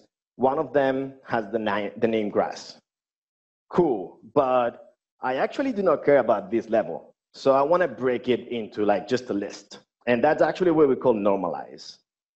So if you do normalize, you get nothing. Uh, because what happens when you do normalize is only the ones that you assign a name to specifically are the ones that are going to be kept. Everything else is removed. So you can actually use the same one. So let, actually, let's call it Pokemon name and type name. And now what it's doing is just generating a list of objects for all of the things that match in just one list with a bunch of different objects. So when you're parsing something, probably you want this when you're the client rather than that big graph that you need to recurse inside. So with that, we have uh, normalize, recurse, cascade, and filter. So we've seen all of the ones that I wanted to show you. Uh, reverse edges are actually kind of cool. Uh, so let's say that I want to get, I want to start from Pokemon type, Pokemon type, and I want to get all of the types of the type in the name. So basically, I'm doing the same thing as before, but in the opposite order, right? Instead of starting from Pokemon and getting all the types and then going over, uh, again, you can actually go backwards in the same predicate by doing tilde. Now, if you run that, it will say, oh, it actually, oh, it works because I actually defined that already. Uh, but uh, basically, the way you're going to do that is underscore types, types. Oh, no, that should not have worked. I did, oh, Pokemon type is not a type. What is the name of the type? Uh, Pokemon. Oh no, it's type type. Okay. Uh, uh, exit, exit. Uh, there you go. So it's actually of type type. And then we're gonna try to go back. Okay, and now it says you cannot go back because the predicate type doesn't have reverse edge. So that, you know, to fix it, you go here, you find type. Type is here. Click reverse, click on update. And we're gonna also do the same with types. Click reverse, click on update, go to the console, run the query. Sorry, what? I, what? For the reverse sets. Say that again. But the data type we have to change for the reverse sets. The data type stays I do not understand the question. Oh, if you not necessarily. If you if you were using expand, yes. But if you know exactly what is the predicate that you want to use, you can just use it. Types are optional, right? So this here, I'm using type only to find the initial values. Then I'm tra I'm traversing by using this. And I think there's something wrong in it, but it's fine, I guess. Um, actually, types UID. Okay, so that, that one worked. This one didn't. Because types, it's not called types, it's actually called something else, and I forgot what it is. But uh, that's enough. We can actually do name there. There's no name either. Yes, so these are the types that you have for different types. What is the generation that they appear? So for type fire, physics, psychic, and everything, basically now what we're doing is the same query as before, but instead of starting from the Pokemon and going forward, we're starting from the type and going backwards. And you can do that too, but for that, you need to say that the reverse edge exists, and that will also generate extra things in the, data, in the database, of course. So only use that when you need it. Use the mic, please. Thank you. You are creating bidirectional graph by just. Uh... It is not a bidirectional edge because uh, I, I would call it bidirectional if you didn't have to use the tilde. Uh, this has a direction. It goes in one way. And by tilde, you're just traversing it backwards. So it's not really bidirectional. It is just that you can, you know, there's a direction, there are directed edges that you can traverse backwards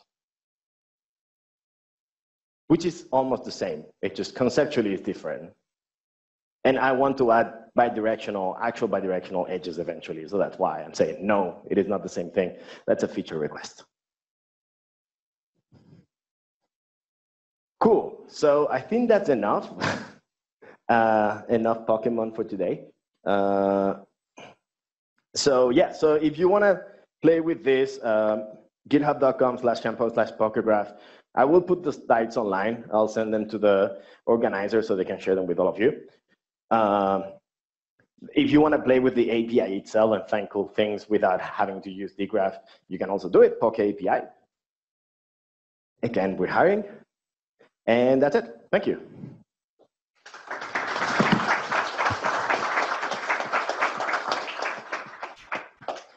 Uh, I don't know if we have time for questions now, or you want to just go with the next talk. You need to use the mic, otherwise I don't hear you. Yeah, all three are running only three Docker instance. All yeah, this is running. Um, so it was here. No, not there. Not there. Here. Uh,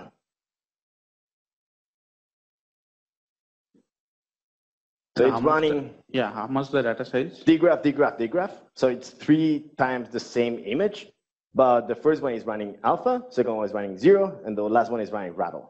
And how much the data size for that Pokemon graph? How much? The data size for the actual data size for the Pokemon graph. The data size for the whole thing. That's a good question. I actually didn't look into it. Uh, if you look at the JSON, how do you, is it DF something?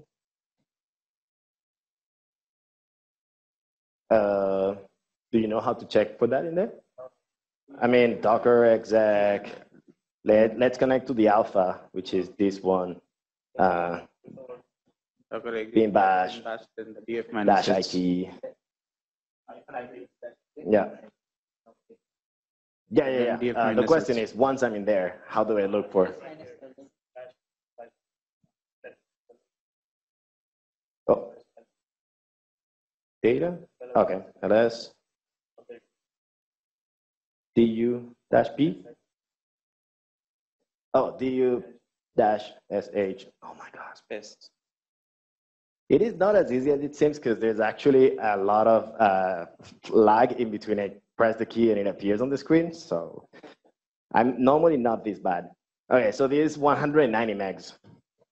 And if you look at the JSON, uh, so the JSON data, Uh, there's probably more than that, but so data, API, du dash a sage. Uh, actually, dot. Uh, in JSON, is 383 megs, so it's actually smaller than the JSON.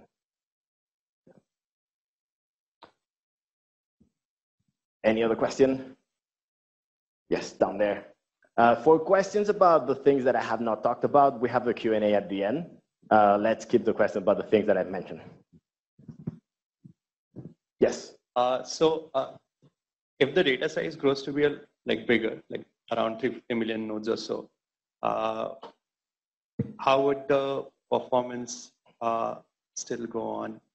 Depend as its key value stored, that one phase lookups would be fine. But as you go deeper, uh, there would be a lo lot of nodes you'll be looking up and then doing further hops.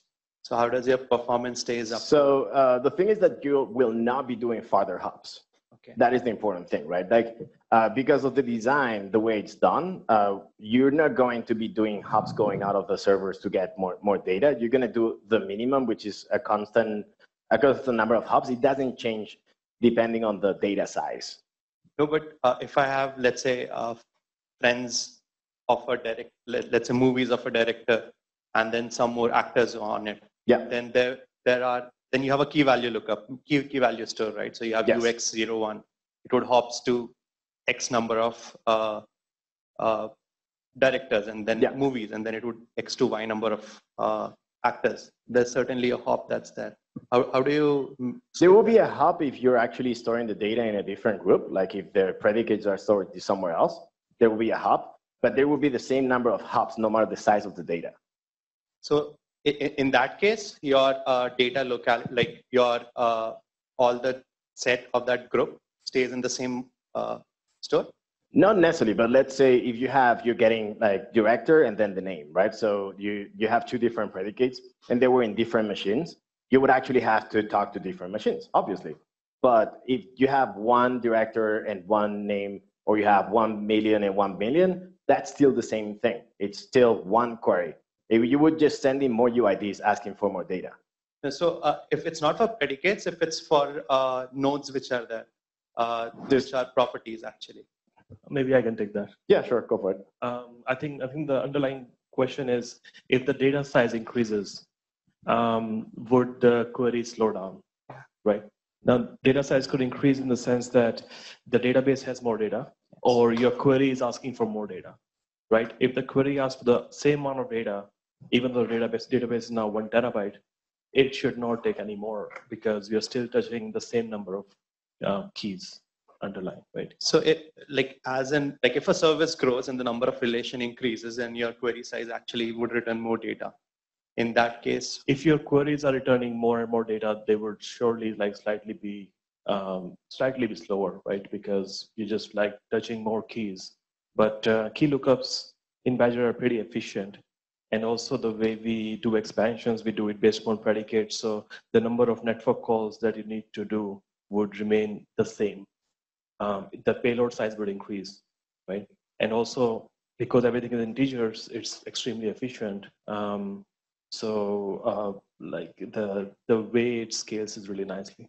Because we have tried using graph databases and the thing is below second degree lookups it becomes really slow and the performance degrades to be used in an online application Yeah, um, more. I think did you use Janus or something? no we use neptune Neptune sucks.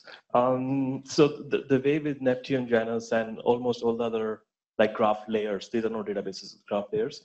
What happens is to do a traversal, you need to first retrieve all the data to the layer, and then the layer does more queries. So the number of network calls that you have to make keeps on increasing proportionally to the size of the result set, right? In dgraph, the biggest thing that we have done is we have kept the number of network calls constant to the number of predicates in the query itself, not the number of result, intermediate or final results.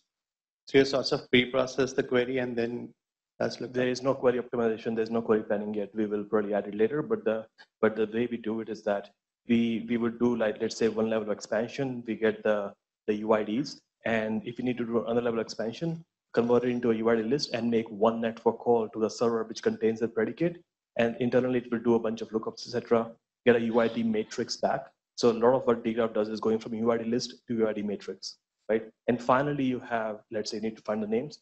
You have a list of UIDs, send it to the name, uh, the server which has the name, single network call again, bigger payload, and then it would do like name lookups internally, return the results, and now you have name. So this is actually pretty crucial. This is exactly what we're doing back at Google as well, is to decrease the number of network calls. You want to decrease the number of machines that you touch to execute a single query. That's the only way to achieve um, really good latency. Yeah, that answers. Thank you.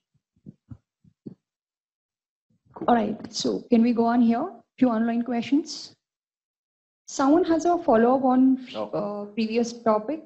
Isn't it difficult to search based on separators? Based on separators? Yes. No. Why would it be difficult? No, I mean, if you have a, something that allows you to find those separators, so if you have like trigram or something like that, or the separator is separate, it's its own term, you could find it. There's no special thing for separators. All right. What is a consistency model of alphas? Consistency model of alphas. Uh, consistency model meaning, I mean, oh, it's it's strong consistency. So basically, uh, as soon as you write something, uh, it's not alphas, but in general the database, right? Like as soon as you write something, the next read will return the data that you wrote, right? So it's strong consistency. It's not eventual consistency. Yeah. Cool. I should have mentioned that. Yeah, the, the exact term for that is called uh, linearizable reads, which means any read would be immediately available um, once the write is done. Okay, thank you. And is there any way to query other than GraphQL plus minus like an SDK? Uh, so there's an SDK that uses GraphQL plus minus. so like uh, you have Go, we have four official clients, so Go, Python, Java, and JavaScript.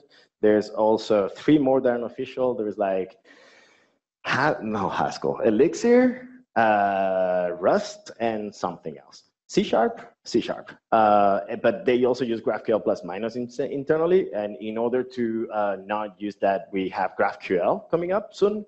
But those are for now the ones that you support that we support. Great. So does GraphQL plus minus support contextual queries like Graph? Contextual queries. I have no idea what a contextual query is. So yes.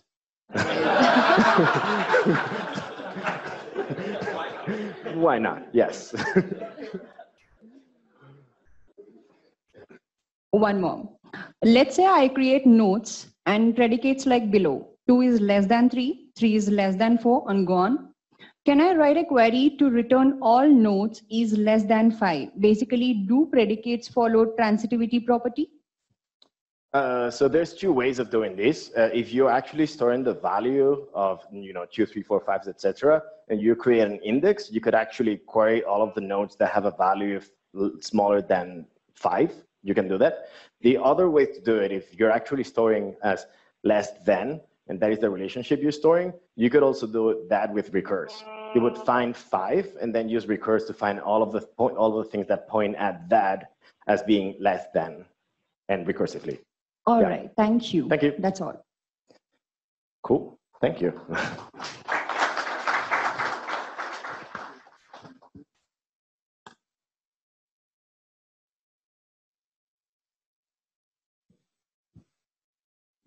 Uh, okay, thank you all. Uh, thanks, Sanjay, for the first talk. Thank Francisco.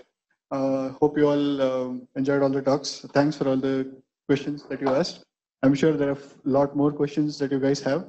Uh, I would request you all to kindly uh, keep a note of it, but we're going to have a, a separate round of uh, Q&A later on, um, and we have some dedicated time for it. Um, so what we're going to do now is uh, break, uh, take a short break, um, and we have news. Yeah, we have news that food is on the way. It's been dispatched, but it's likely that it's going to arrive in about 10 15 minutes. So um, please feel free to take a break and then we'll continue the break for uh, snacks. And uh, we'll join back for a talk by Manish, uh, and that'll be followed by uh, further Q&A. Um, yeah, thanks. Um, my name is Nishant. I have the huge privilege of leading people team here at Hotstar. Um, and I want to especially thank um, Manish, Francis, and Sanjay, the speakers of today. The organizers, Praveen and Ankur. Uh, thanks, thanks for giving us this opportunity to organize this here. We keep on organizing these events um, um, very often. Uh, in fact, there's a Kafka Day that's happening tomorrow uh, between 10 and 5. So most of you are welcome, all of you are welcome actually, and uh, do let your friends know. They can come over here. Uh, I just wanted to talk a little about, um, there's something really magical that's happening here at Hotstar.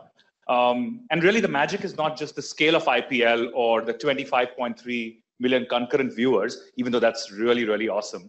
It's not even the Game of Thrones or world-class acts like uh, Chernobyl, which are on our platform, which is also very, very awesome. But it's really about this bunch of talent that we've been able to gather and giving them the environment, toughest problems to solve, and the environment where they can be inspired to do the best, which is really the thing that is that is driving Hotstar. Um, we do have our colleagues. Um, there's Namit and Navgeet. Namit, can you raise your hand? Namit and Navgeet is not here, but they both are there from the data platform team. There is Sanjay, Sanjay from the personalization team, and we have Kuldeep and Shubhajit. All right, from uh, the social team, we have Aju, Dipayan, and Vanita from our talent acquisition team. They will be around uh, after the Ask Me Anything, the question answer round is over. They'll be hanging out there. Very happy to have a chat with you guys. There's enough food to kind of keep on going till till cows come home. So feel free to chat about them, about awesome stuff that's happening in Hotstar. If you would like to kind of join this awesome team of professionals, we are growing in all locations. Bangalore, which is our largest engineering base, Bombay, Gurgaon, and Beijing, which has some outstanding bunch of people that we've been able to put out there. So without further ado, I'm just going to ask Dinesh to introduce the next speaker and uh, take this forward. Thanks, everyone. Uh, hi. Uh, so usually we don't have introductions to speaker, and Francis didn't even need uh, introduction. Uh, so Manish was in Golang Meetup, uh, I think 17, talking about internals of Badger. So I don't know how was the start. After that, like they built so many things, and uh, like you can see, dgraph and Badger like almost 740 folks, some something right? 740 folks and so much contributors. So you guys should check out. So uh, I really th thank Manish for just shooting out a mail because they were traveling here for uh, the company and then Francis can they uh, came over to give a talk. And because of him, like Francis is here, we can say for sure. So, so thanks again, Manish, for coming. And then we would like you to see again so you can take those states. Well, yeah, thanks for having us. And uh, yeah, we showed the mail and Dinesh was like very generous. Um, he was he was able to like set it up so that the timing of this meetup coincides with when we are here and we are only here for a week so thanks and thanks everybody for coming um, so francis gave a talk about dgraph um, and uh, you know every database needs some level of cache um, we were using a cache before um, and it didn't really work out for us for various reasons which is why we ended up building this thing called Ristretto. So Ristretto is a high performance uh, concurrent memory bound Go cache. And it's uh, this sort of like all originates from uh, another piece that we had written. Let me see, where is it? Uh, somewhere over here. Yeah, this is called the state of caching in Go.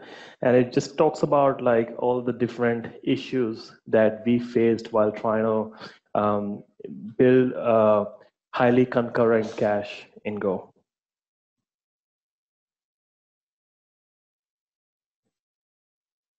The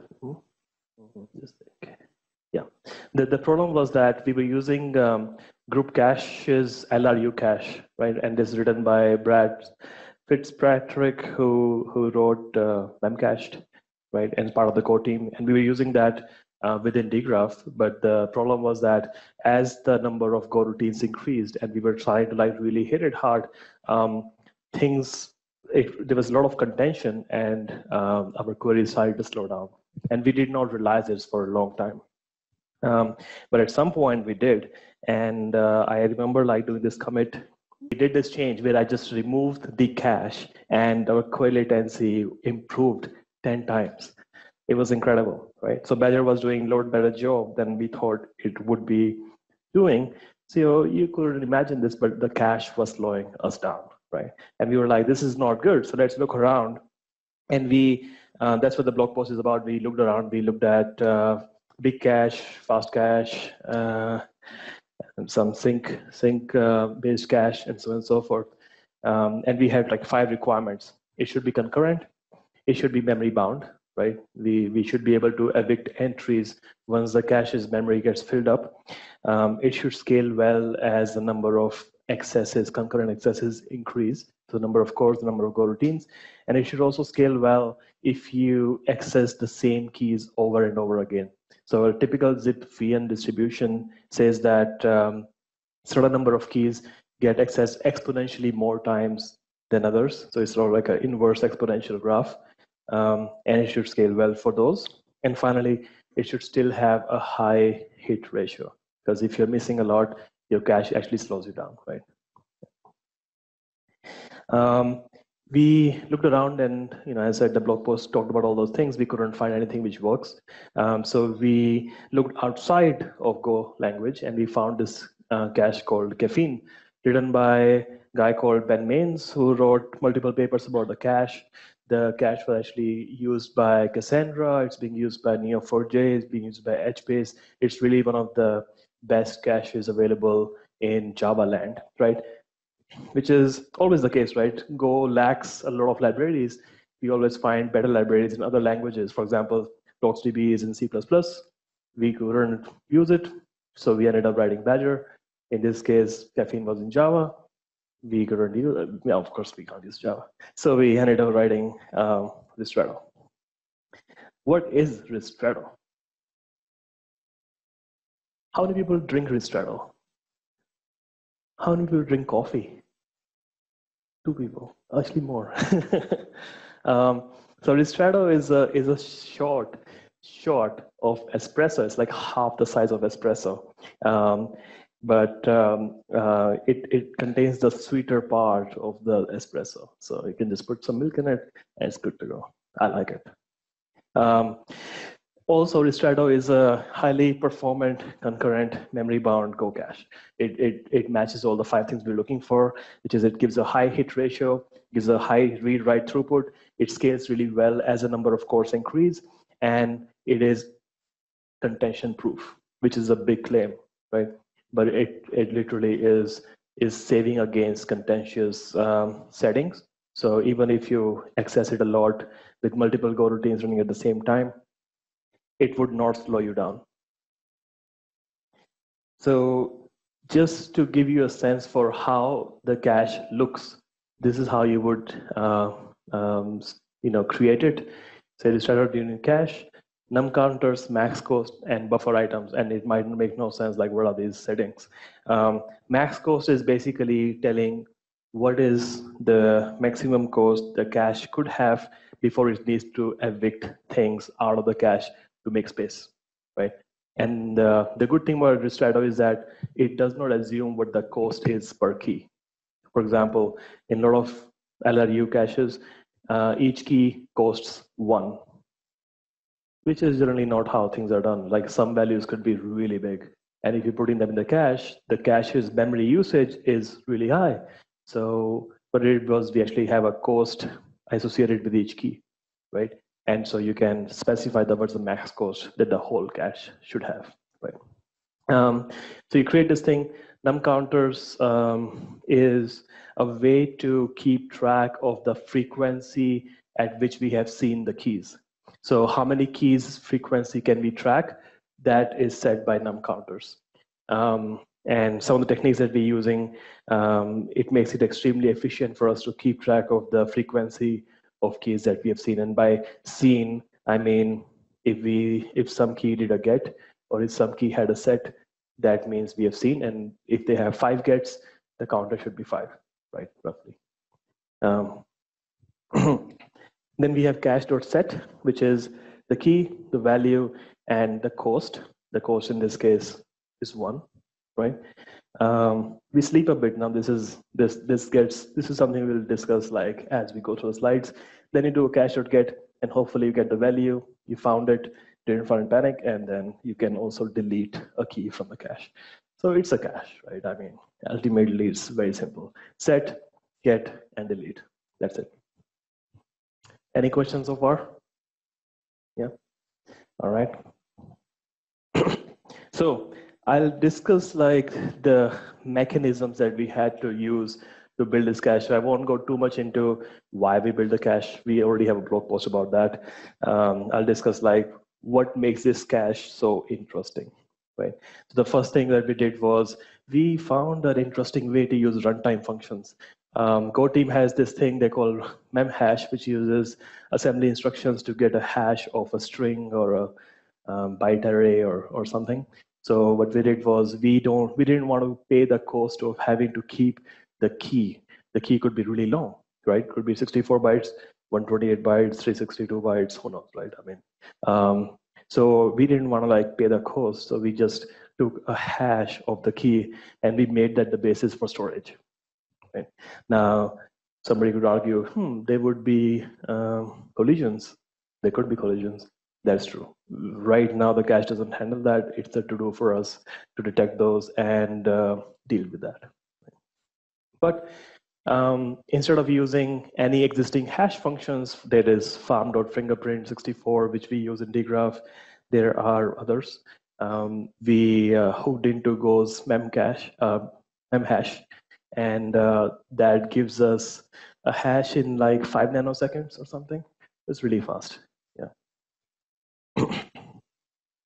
Um, the cache itself, the storage part of the cache, we tried various things. We we used uh, logged sync mutex and just the whole cache, which is hash map, Go hash map, right?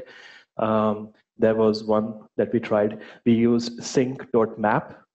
There's a second one that we tried, and for a long time we felt that that must be the most efficient. Um, but uh, once everything was done, we started looking and realized that that's not the most. In fact, sync.map is actually pretty slow. Um, so we did a sharded map where we had 256 shards. Each shard has a uh, lock, and then it has a normal Go map, right? And the way we decide the shard. Now, if we were in some other, uh, let's say, programming language, we would know which thread is actually dealing with the access. So we can do thread local, right? In Go, that doesn't exist because Go team would not expose that to you. So what we did was we had the hash, uh, this hash, which was cheaper, right? So we took that hash and we determined the shard based upon this hash, right? We already have this information, we can reuse it. so what do we do for concurrency?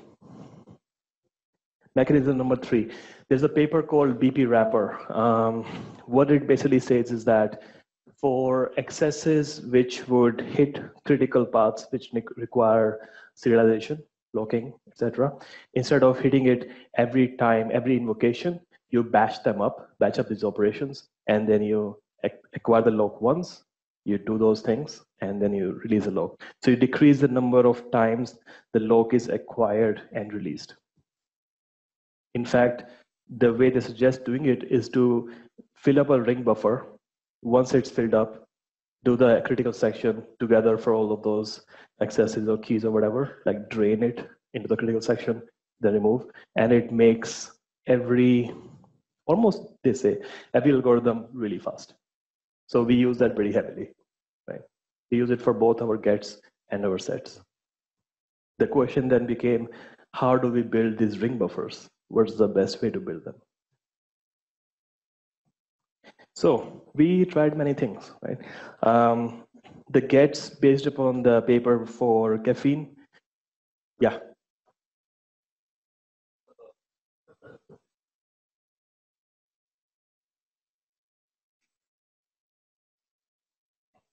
Hi. Yeah. So what I understood, you write into the case in a batch mode.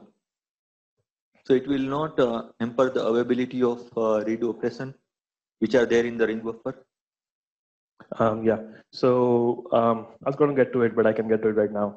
Um, what will happen is if you do some get, initially you'll go to a ring buffer, which means it's not applied to the cache itself, uh, which means the frequency tracking that we're doing for that key would not be updated yet. right? Uh, but generally, that's okay. We haven't seen that uh, affecting our hit ratios too much, right? However, in sets, um, if you notice, we were, yep, you're doing a timed sleep here, right? Uh, it's because we there is a mechanism going on there, which is which is the moment the set returns, the set might not be done yet. It's actually gets done in the background. Um, so the sets would be slightly delayed. So um, so all gets are put into a lossy buffer, right? So the question was for us was uh, how do we build this lossy buffer? Again, like in Java or other language C++, you might know thread local, so you just put that in thread local uh, buffer that you have. You don't have to acquire any locks. Things are really fast. But in Go, you don't have that. So what do you do? Other mechanism was to explore using channels. We tried using channels. Channels was uh, no less fast right? Um, and then there was a, bug that he found. Somebody was like complaining to GoTeam saying, hey, why don't you expose the, the threads? Um, and uh, when they were actually using it themselves in sync.pool. Um, so that it was like, hmm, sync.pool actually uses threads internally. Maybe we can use sync.pool, right? So what we did was we did a simple thing. Uh, we create these stripes, right? We put a stripe using, we get it from pool.get. So it gives us the stripe. We push the key into the stripe and we put the stripe back into the pool. We don't have to acquire any more locks because once you get it, you, only you have access to it. No locking required, and then you put it back. Now think about sync.pool. If you understand, is that um, if there is too many ring stripes or objects in sync.pool, when GC runs, it's going to remove some of them, right? So that's the first level of lossy, right? Because GC might be able to remove some entries from sync.pool itself. Um, and there's the second level of lossy, which I think on the next slide. Um, but basically, sync.pool performed way better because it internally had access to thread local. Yeah, it's pretty unique way of sync.pool. I did not think about it. One of the guys working on the team, he figured it out. Um, so, so gets are processed with a delay, right? Only when the stripe reaches its capacity, right? Um, and um, um, so what happens is, you know, we, we got the stripe from the sync.pool right here, right? And after that, there is a thing which says, oh, is the stripe capacity reached? In which case, flush it out. And uh, the way it flushes it out is that it pushes it into a channel then, items ch, right? push it into channel. Now, if there's too many pending writes, uh, I think the items channel has capacity of three, so it will just go to default and just get dropped.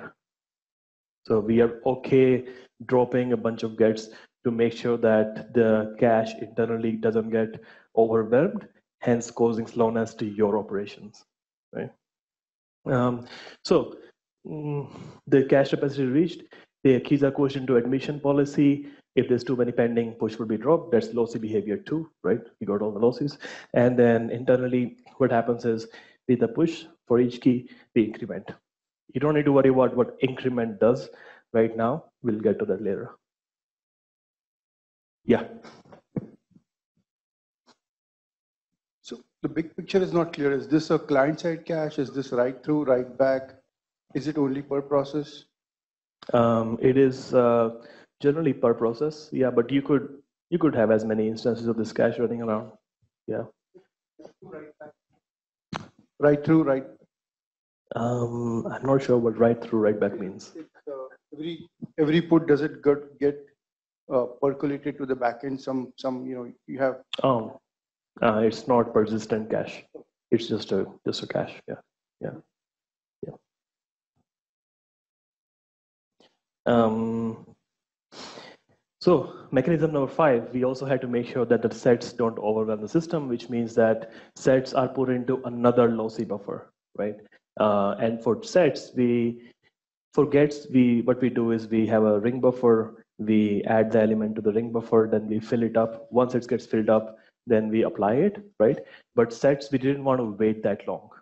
We didn't want to fill up like 128 sets and then apply them because like user would complain, hey, what's happening? even if there's no contention, it takes forever. That's not right. So what we had to do was we we had to use channels in this case. Um, so what we do is once the site comes, we create an item out of it which has the key, the value, and the cost, as we had seen before. Puts it into the buffer. If the buffer is already full, just drops it, right? So it would drop sets. But the the good thing is that um, we have this channel. This channel is constant, consistently being processed by another Go routine, which is applying these sets. Yeah.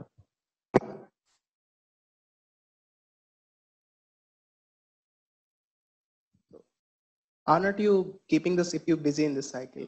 Uh, It's not a cycle. It's just uh, it's not a for loop. Okay. Yeah, just uh, one select. So it will return uh, drop sets and false. So, if you are dropping every time, so next time request comes and then it's get executed to default, right? Only if set buff is full, right? If set buff is not full, it will push to set buff. Yeah. Thanks. And actually, you do want it to drop if it's already pretty full because, again, like you don't want your gets and sets to slow down your application, which is one of the things that I mentioned. It's contention proof. It really meant that when the cache is like operating at capacity, we just start dropping stuff, right? And the cache takes care of that. Um, so yeah, as I mentioned, so both gets and sets would drop items if too many are pending, right? This performs really well under contention. We tried it with so many routines and like so many loops and stuff. Um, the hit ratio obviously gets slightly affected, right? If we're dropping a lot of gets and sets, hit ratio is affected, but we realized that it was still much better than all the other alternatives, um, which we tried, which is big cache and uh, fast cache and so on and so forth. Um, so it degrades, but it degrades like slightly. Um, it does mean that sets can be lost or rejected. Um, so that's something your application would need to be aware of, right? Uh, it's not consistent in that way. So just because you did a set doesn't mean it would be there. You might have to do, if you do a get, you might not find it. But the idea is that then you can do another set later if you really need to.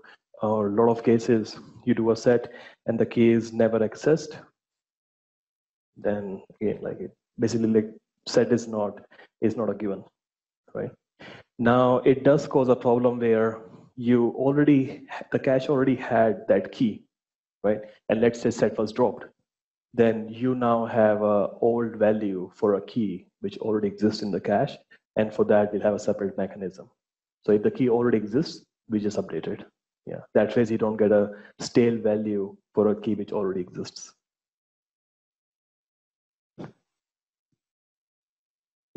Hi. Uh, so I have a question uh, regarding the thinking that was going on while designing. Um, and what sort of factors affected uh, your design choices? So, with regard to lossy behavior, for example, so uh, at one place, lossy behavior point number two, uh, the channel only accepts uh, three items, and if, if if it's more than that, then you just drop it, right? And uh, uh, the lossy behavior can affect your cache hit ratio, like you mentioned before.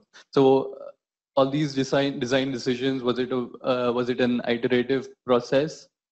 Uh, uh, what what was the thinking behind these? we um, so by the way this this items ch it's not three items it's like three slices of keys and so the key is the size of the ring buffer which which is i think set to um, initially we set it to 64 or something let me see uh, buffer items. So it's like you can configure these things, right?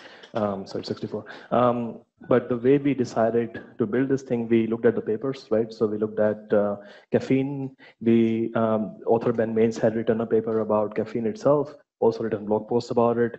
We looked at uh, the BP wrapper paper. So we had like a list of like four or five papers that we followed to be able to build this thing. And caffeine itself um, had the whole concept of lossy ring buffers and so on and so forth. So the biggest thing for us is to was to figure out how best we can implement that in Go, right? Because in, in Java they had the benefits of thread local storage. They even had a um, sort of a concurrent hash map, which doesn't require any locks at all, right? So they could just have one map for everything, but in Go we don't have that. So we had to use a sharded thingy, or we tried sync map and so on and so forth. So the biggest thing was what parts we take uh, from those papers and from the implementation, and how do we get it in Go to perform really well. Um, other things in Java that they had was they had a LRU based cache, and we decided that uh, LRU was a bit of an overkill. In fact, it would be slower, and we built it based upon LFU. So LRU is least recently recently used, right? And LFU is least frequently used. And so TinyLFU, which I was mentioning about, uh, which keeps track of keys to counters, which is the frequency of access, we use that information to figure out what to evict and admit, but we'll get to that.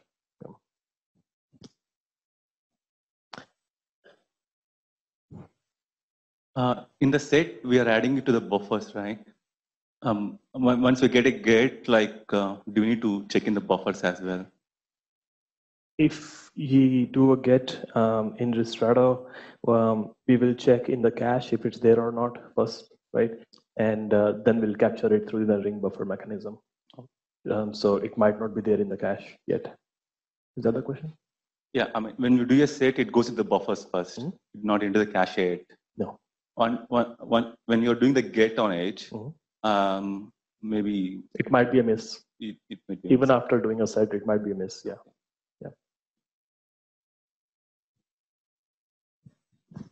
Uh, one mechanism you mentioned about uh, stale values will definitely be updated. So just before setting, you if in you are you doing get and in case you are doing get, if it fails, uh, like will it affect the performance? Um, so the mechanism that uh, that we are adding is a to do should be one line change. Uh, would basically do uh, update if present basically, right? So when you call the set, it will quickly check the cache, the map, the right shard of it.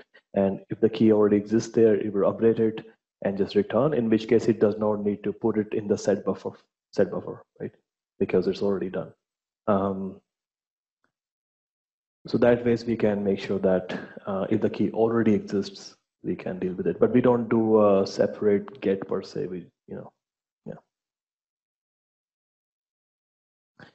Okay. Um, one thing annoying thing that I found about other caches was like they were all assuming that the key value costs one, right? It just makes no sense. Um, including almost all the LRU uh, implementations I've seen, they would just do it based upon number of elements, which is a lot simpler implementation because for every key you add, you remove one key, so the costs are fixed, right? but that's just not how things work in practice.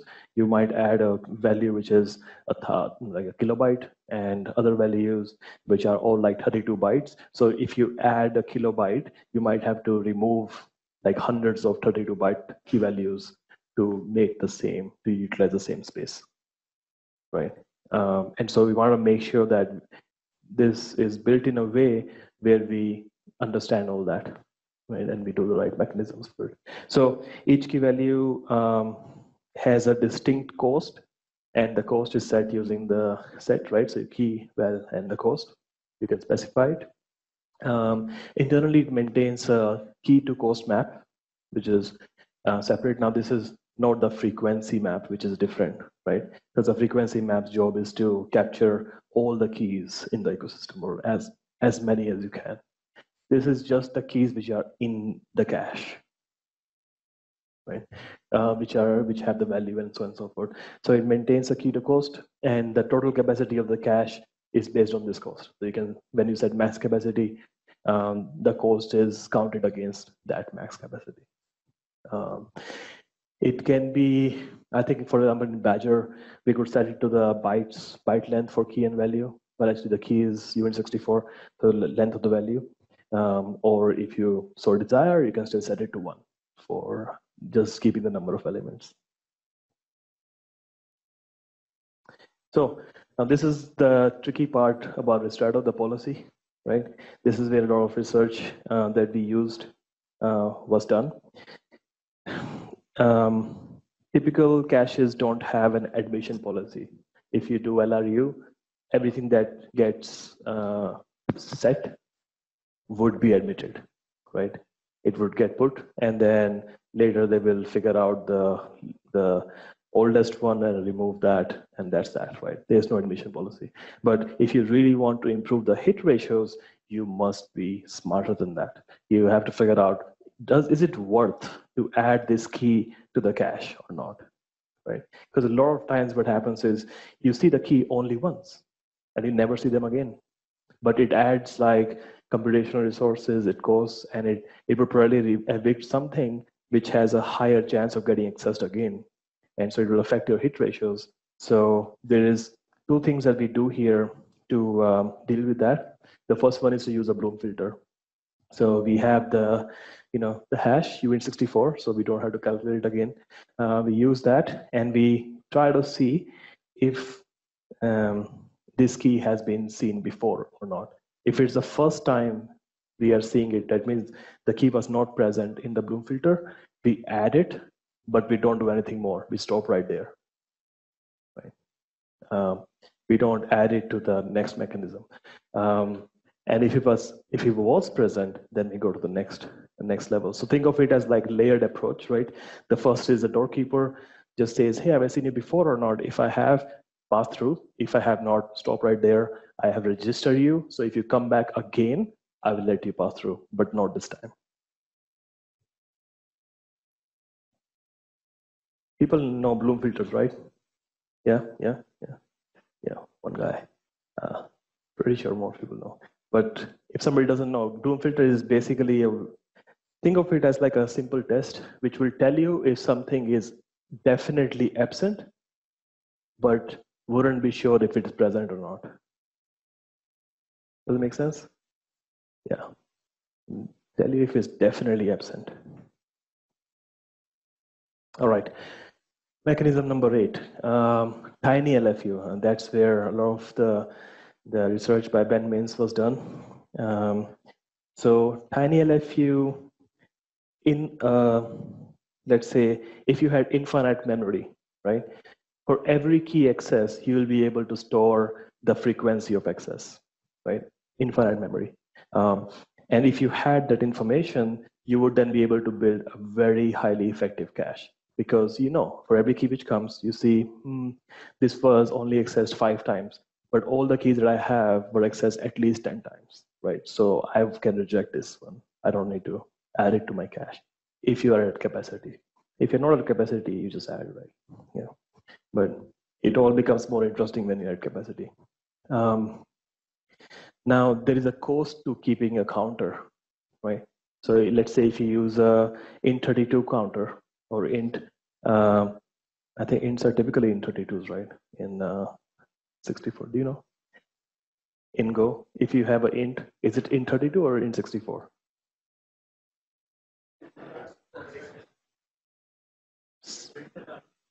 Depends on the, but I think everybody has AMD, right? 64. So every 64 then 64, I guess, right? I guess. Yeah. Uh, anyways, uh, even if you were to use, let's say, int, then every key would use 64 uh, bits, eight bytes, right? So if you need to then have uh, a thousand of them using uh, eight kilobytes, a million of them uses eight megabytes, a billion of them uses eight gigabytes, which is quite a lot, right? Um, so TinyLFU, what it does is that it only uses four bits for each uh, key which means if you have a billion keys, it would use 512 megabytes as opposed to 8 gigabytes, which is pretty efficient, right? Um, and it does that in a sort of like a interestingly complex way by using three different um, sort of uh, uh, it will kind of create a key and have three different like hashes come out of it and it'll update each and every one of them to to figure out what's the what's the counter, and uh, it will pick the minimum of them to find the estimate of that key, the frequency of uh, that key. Uh, but I won't go into that. There's a talk on its own. Um, but basically, we have a smart way uh, which can be extremely cheap about keeping track of the frequency of the keys access, right? That's tiny LFU. And on top of that, you don't want that a key which was accessed, let's say two days ago, it's still consuming space, right? Um, so you want to have some level of recency. And how do you do that? What you do is that um, we would reset this uh, tiny LFU we by slashing all the counters uh, by half for every n accesses. Right? So after every n keys we have seen, we will just say whatever the counter values is for everybody divided by half. Right? That means we have some recency. Um, and, and if you think about some key which was seen two days ago and never seen again, it would go to zero pretty, pretty quickly. Right? Um, so then there is recency like that. Right? and then this increment, right? How does this panel if you increment key? So as I said, like the first thing to do is use the Bloom filter. So if it checks add if not has, if it does not have it, add it to the Bloom filter, right? And we was um, uh, not added, then uh, um, which means it was already there, then we increment the um, the frec is a tiny LFU. Then we increment in tiny LFU. So basically, like the Bloom filter is right here, tiny LFU is right here. Uh, try to first add to Bloom filter. If you were able to add to it, then skip. If you were if it was already there, pass through to the tiny LFU and increment to tiny LFU. Right? Even though it seems a bit weird, right? We should change the code to make it a bit more clear. Um, but um, but that's what happens, right? First Bloom filter, then tiny LFU, and then if the number of times like increments that we have seen, you know, are greater than reset at, then we reset, which is divided by half. Um, all the counters. So that's tiny LFU. Um, and uh, I think one thing here is the our admission and eviction is kind of the same mechanism, right? So what we're doing is for all the incoming keys, the gets or sets, we are updating the estimate. The estimate is um, if you look here, yeah. So this this mechanism gives us increment, which is what we just saw, and gives an estimate, which is the estimate of the frequency, right? And the reset, which is divided by half, right? Um, so just one interesting thing, right? The estimate, uh, if it's something is in Bloom filter, but not in tiny LFU, the estimate would be one, right? Because Bloom filter would also count. Uh, but we we always increment irrespective of whether we add something to the cache or not. We increment every time we seed some, something. We can reject them later, but we'll still increment them. All right. So, um, so all incoming keys update the estimate. And uh, what we now want to do in a perfect world is that for every incoming key, we want to evict the key with the minimum estimate which is the minimum frequency um, key. But it is hard, right? we have to keep like a min heap or something, um, and it, it's expensive. And the more keys you have, the slower things would get because even if you take a min heap, it's still logarithmic, right? So what we do instead is Go maps uh, iterate the keys randomly, uh, sort of like a feature of Go, right? Um, it's uh, at least we use it as a feature. Uh, so what we do is we we pick up like five keys from the the cost map, the the key to cost. I don't actually remember that, um, because we actually have the the storage, which is the key to value in sharded map, right? Uh, but then we have the actual cost, the key to cost, just in normal map because that didn't need to be accessed so frequently. So anyway, so then we need to generate the list of sample keys. We just iterate. We get five keys. They become our samples. And then what we do is that we find the minimum estimate for those five keys by getting their estimates, right? Uh, so if you remember, estimate is the frequency of access, right? So for those five, we will check, hey, what's the what's your estimate? What's your estimate? And we get five estimates. We pick the minimum of them, and then we compare the estimate of the minimum uh, key, which would be the evicted key, in in case, right? Um, is its estimate less than the estimate of the incoming key? So the incoming key, uh, the frequency of access the incoming key has seen is that higher than what we're going to evict, right? It should be higher. If it's lower, you should not uh, admit it. There's no point adding something whose frequency of access is so low. Right? So, so what we'll do is um, the evicted keys estimate is lower the incoming key, then we'll add the incoming key. Otherwise, we'll reject the incoming key. So that's admission, right? And also eviction. But here's the actual algorithm, right? So the incoming key, we do the estimate. Can you guys see this in the back and stuff? Yeah, kind of. Um, yeah. Um, so we get the hits, we call it hits, of the, uh, the estimate of the incoming key, right? That's inc estimate. And this room left is just like how much room does the cache have, which is based upon the max capacity, right? Um, if it is only if it is less than zero, we'll do this. If we have more room, then we don't need to do any of this. We just add and continue, right? I mean, if your cache is empty, might as well fill it, right? Um, so anyway, so if the, there's no room left, then we'll continue. We'll get the sample. We find the, the minimum key, the minimum hits for that key, which is the estimates, right? And if the incoming uh, estimate is lower than the minimum estimate, we will reject it. And if it is not, then we will delete the minimum key and we will remove it from the sample and we'll uh, fill up uh, the sample again until the capacity that we have is again below the um, max, right? And we'll continue to this. So basically what could happen is, um, let's say some big value comes, a kilobyte, and we have uh, 256 byte values inside. So we'll go through this three, four times, right? So we'll go first time, let's say we found something which was uh, 256 bytes, we evict them.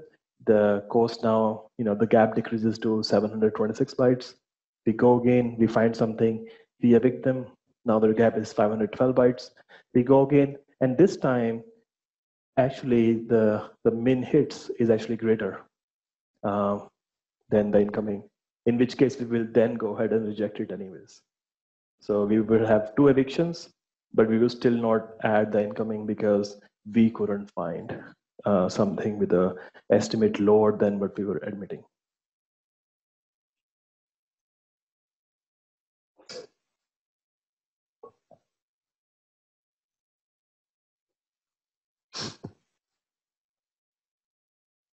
Hey, uh, so you're actually evicting some of the things without even adding more things to the cache?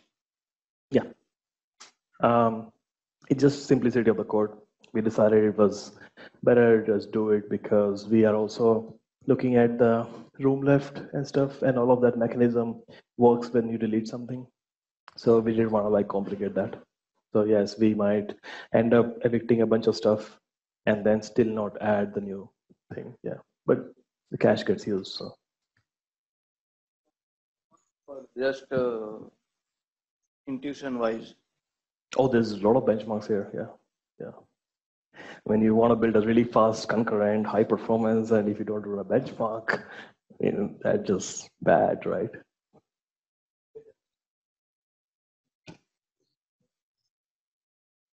The room left is just the you are checking for that right that Mhm. condition. So Yeah. you you when you say if inc, inc, increment it is less than minimum it's right?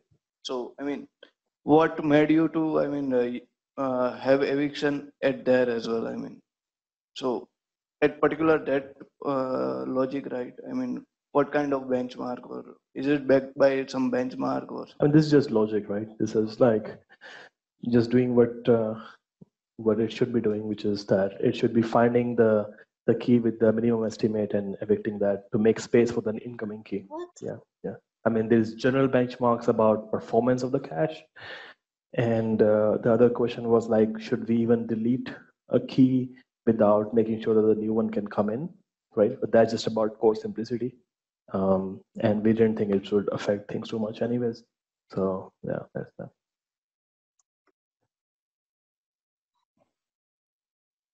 Uh, when does the eviction policy come into place? uh, once we reach capacity, right? So, um, you know, like the gets are coming, sets are coming, gets go into ring buffer, sets go into this thing. And when the set is running in a loop in a go routine, right? Uh, when we are setting, that's when we check uh, whether it should be emitted. And if it is being admitted, something should be evicted or not, right? So for every admittance, there might be an eviction or might be multiple evictions depending upon the cost. Yeah, so my question now is uh, when the cache gets filled for here, uh, does the eviction policy keep getting called now for each set that is being set because it's full? Yeah. Is there no mechanism where you kind of clean up a little bit because you don't want to go through this loop each time? This is happening in the background, right? It's not happening in critical path. Critical path is like just pushing the set into a channel, and then there's a go routine which is running this critical path in like background. So you don't really care how fast this works. If it is slow, right, then the channel would get filled up, and then all the other sets would get thrown away. So your application is not slowed down, right? So So about recency, so how frequently it goes? Is it a kind of configurable or uh, I mean, uh, how frequently it goes where? I mean for recency, recency. Hmm? So you perform some recency where you do half of the uh, frequency, right? I mean, uh, It's all configurable. Yeah, you can configure like how how often do you want to uh, do the halving? Yeah, yeah. Uh, regarding the range using for randomness, I think usually when we run any small programs or test programs, um, if I have the keys added in one, two, three, four, five, if I run it, I may get in random order. But if I run one more time, the same random order comes. I mean, it's not really random for every run. I think probably here you may be finding it because the map is very huge and you may be changing it regularly. There's some sets going in different routines. I'm just assuming that. It is a Oh, small I- program which I had. It comes in random one time, but it just repeats. Yeah. Uh, I did not know that. Um, seems strange, right? I mean, why would it maintain a consistent Uh, order? Okay, maybe. I, I tried playground, I mean, go playground. Maybe, yeah, I may be wrong also. I mean, Go team wouldn't want that anyways because the whole point of adding randomness was to make sure that people don't depend upon the ordering. The moment you start giving back the same ordering, people start depending upon it. So it would like violate their own guidelines. So I, I, I mean, I don't know, but I don't think that should be the case. Yeah.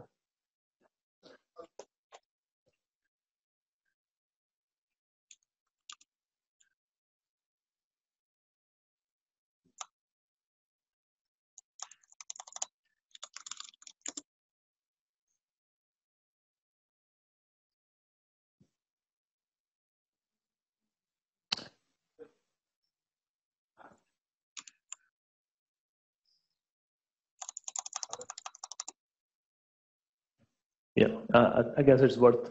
But the thing is, like, if we were evicting something, we must be adding something as well, right? I mean, so then it should probably work out. Yeah. So, uh, small question. So, you might have performed multiple evictions, but then there is a lot of room left, and then you just add everything. So, you had a mechanism to keep track of evicted things, but then admitted whatever came. So, Oh, actually, like, um, we are only evicting as much as we need, right? So, um, the cost is the cost of the incoming. So we keep we track. So I mean, if the we would only evict as much as needed to admit this thing. Uh, so if this thing does get admitted, then ultimately the cost would be very close to max.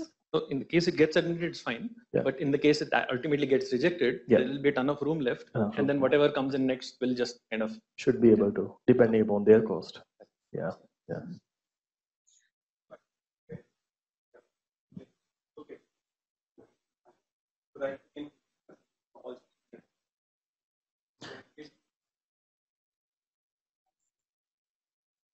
All right. Uh, well, so the mechanisms are all explained. Uh, looks like you guys are all like you guys understand this Straddle. Uh, let's do the throughput benchmarks, right? So we ran using cache bench written by uh, Aman. Aman is around. Um, and I think Aman had given a talk about the previous um, blog post that we had written about state of caching in Go. So, so here's really nice benchmarks that we used. We ran them on a i7 machine, 3.7 gigahertz, three cores, 16 gigabyte RAM.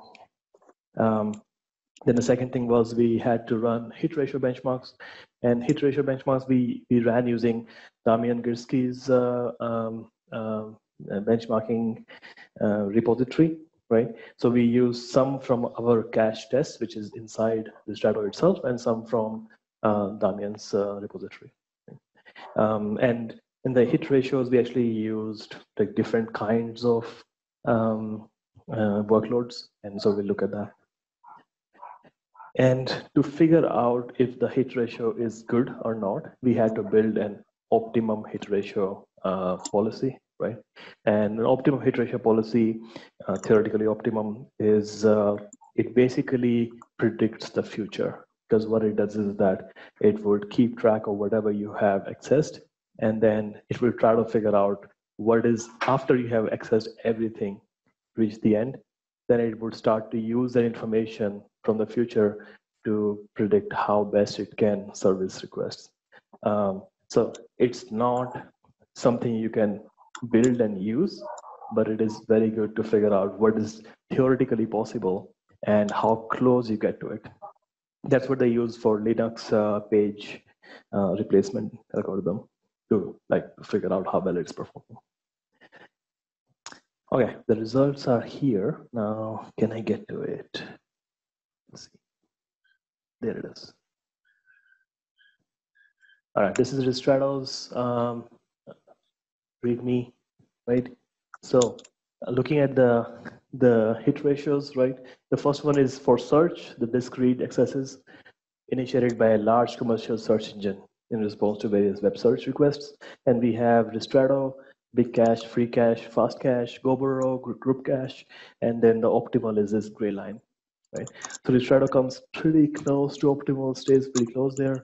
And then the next one is Goburrow, but then the Big Cache and Free Cache and others sort of like kind of pale right? So in this case, we go all the way up to like 70, 65%. Um, so 70 or 65, we get pretty close to optimal. That's for search. Um, then there is a database uh, hit ratios workload. So database server running at a commercial site, etc. And again, the optimal is over here, and Ristretto is somewhere over here, and the thing Goburrow is kind of like close to Ristretto. Right? But I think Goburrow is also really slow um, because otherwise we would have just used it. Uh, and the others are like not so great. Then there is some sort of a looping access. Uh, I think in this case, we could not use the uh, big cache and fast cache because they have a minimum requirement of how much memory they have to use. And some of these uh, require that the memory should be really small.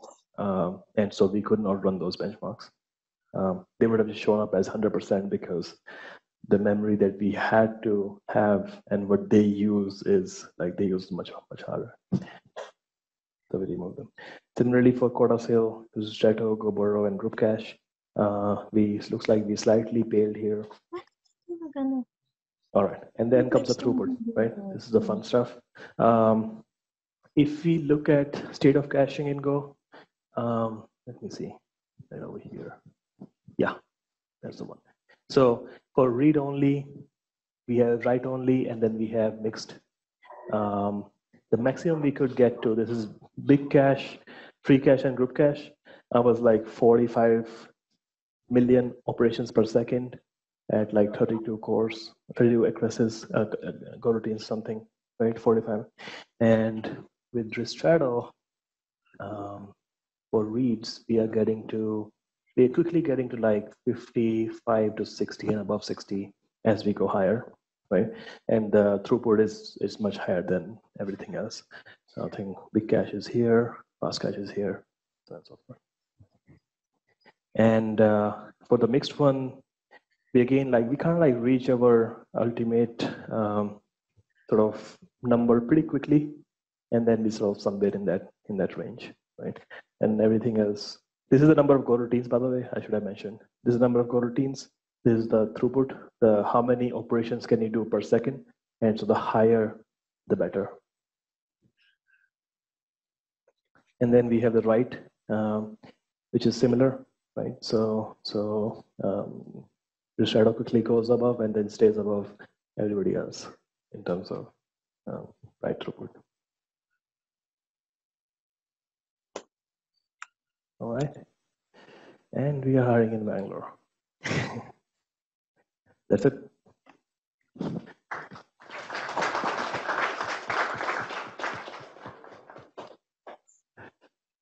Uh, by the way, I think uh, one thing I should mention, we haven't announced Ristretto yet, right? So please don't put it on Reddit or Hacker News yet. Uh, we are working upon a blog post to make sure that we cover various things and then we will announce it and that'll be a good time to put it. So, so just keep it to yourself.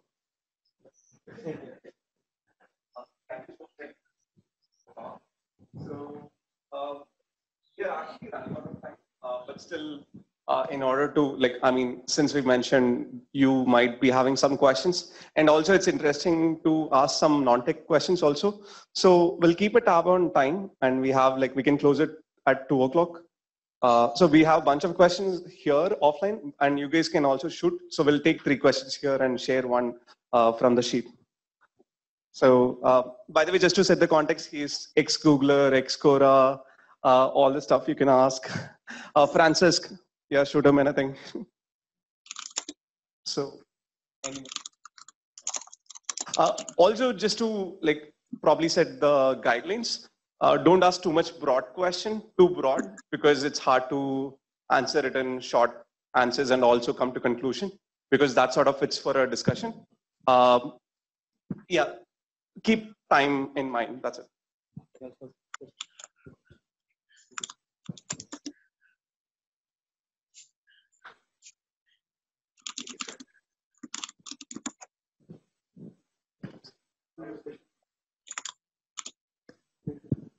No, hello. Okay. Yeah. Um, I would say feel free to ask questions. I mean, you know, don't put so many restrictions. Um, Oh, uh, do we have a? Yeah, Um, there's a glass right. And by the way, guys, we also have a bunch of T-shirts that we brought, obviously.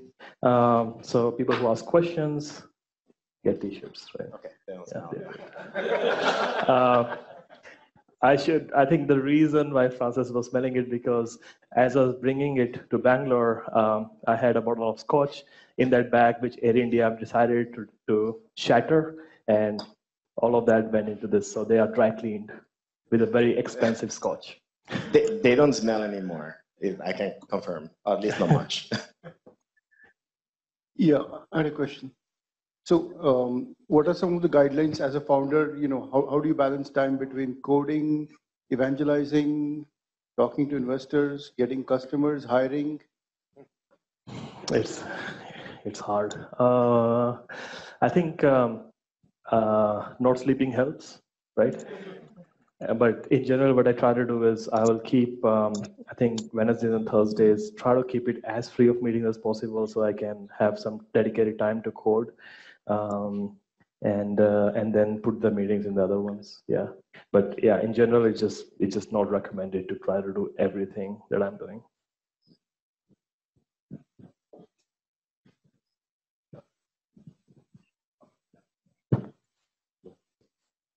Oh, Yeah, hi, uh, so so uh, when you are creating nodes, so some of the nodes will be created on server one, some of the nodes might be created on server two. So when you you are aggregating nodes based on relation, so you have to pull data from different servers. So what kind of hashing mechanism uh, you maintain that this node is uh, created on this server? So the So uh, basically, what we do is uh, we store the data. Oh, you mean uh, for every specific? Uh, the partition uh, algorithm. Yeah. So the way we shard data is actually based on the predicate. So once you send, uh, say, I'm gonna store something about age, we're gonna find the zeros know where age belongs to in what group. So then uh, when you talk to an alpha to say store this information, they're gonna store it, and they're actually gonna do a transaction uh, and in this case, it would be only one, uh, the transaction would be in one group, but then we can do it across multiple ones. But, there's no caching if that's what you were No, I think I think the the question was like, how do we store nodes and how do we partition nodes? there is no concept of uh, node storage in the graph because nodes are just UIDs, there's integers. So whoever accesses it, whichever predicate accesses it, it will be stored there, right? So if, if name is saying, if name belongs to a UID and age belongs to a UID, then there'll be two different shards and the name shard would point to that UID, age shard would have that UID. So there is no real nodes. We, we cannot aggregate across all the nodes because we just don't know, right? We, we will have to scan everybody to figure out the nodes. Does that make sense? Yeah. Yeah, thanks. One question from here. Uh, why did you go for building the graph? And uh, why GraphQL as query? They both worked out. I mean, um, the Go, I think if I had not chosen Go, I would have chosen C++ because I didn't like Java, I didn't like Python.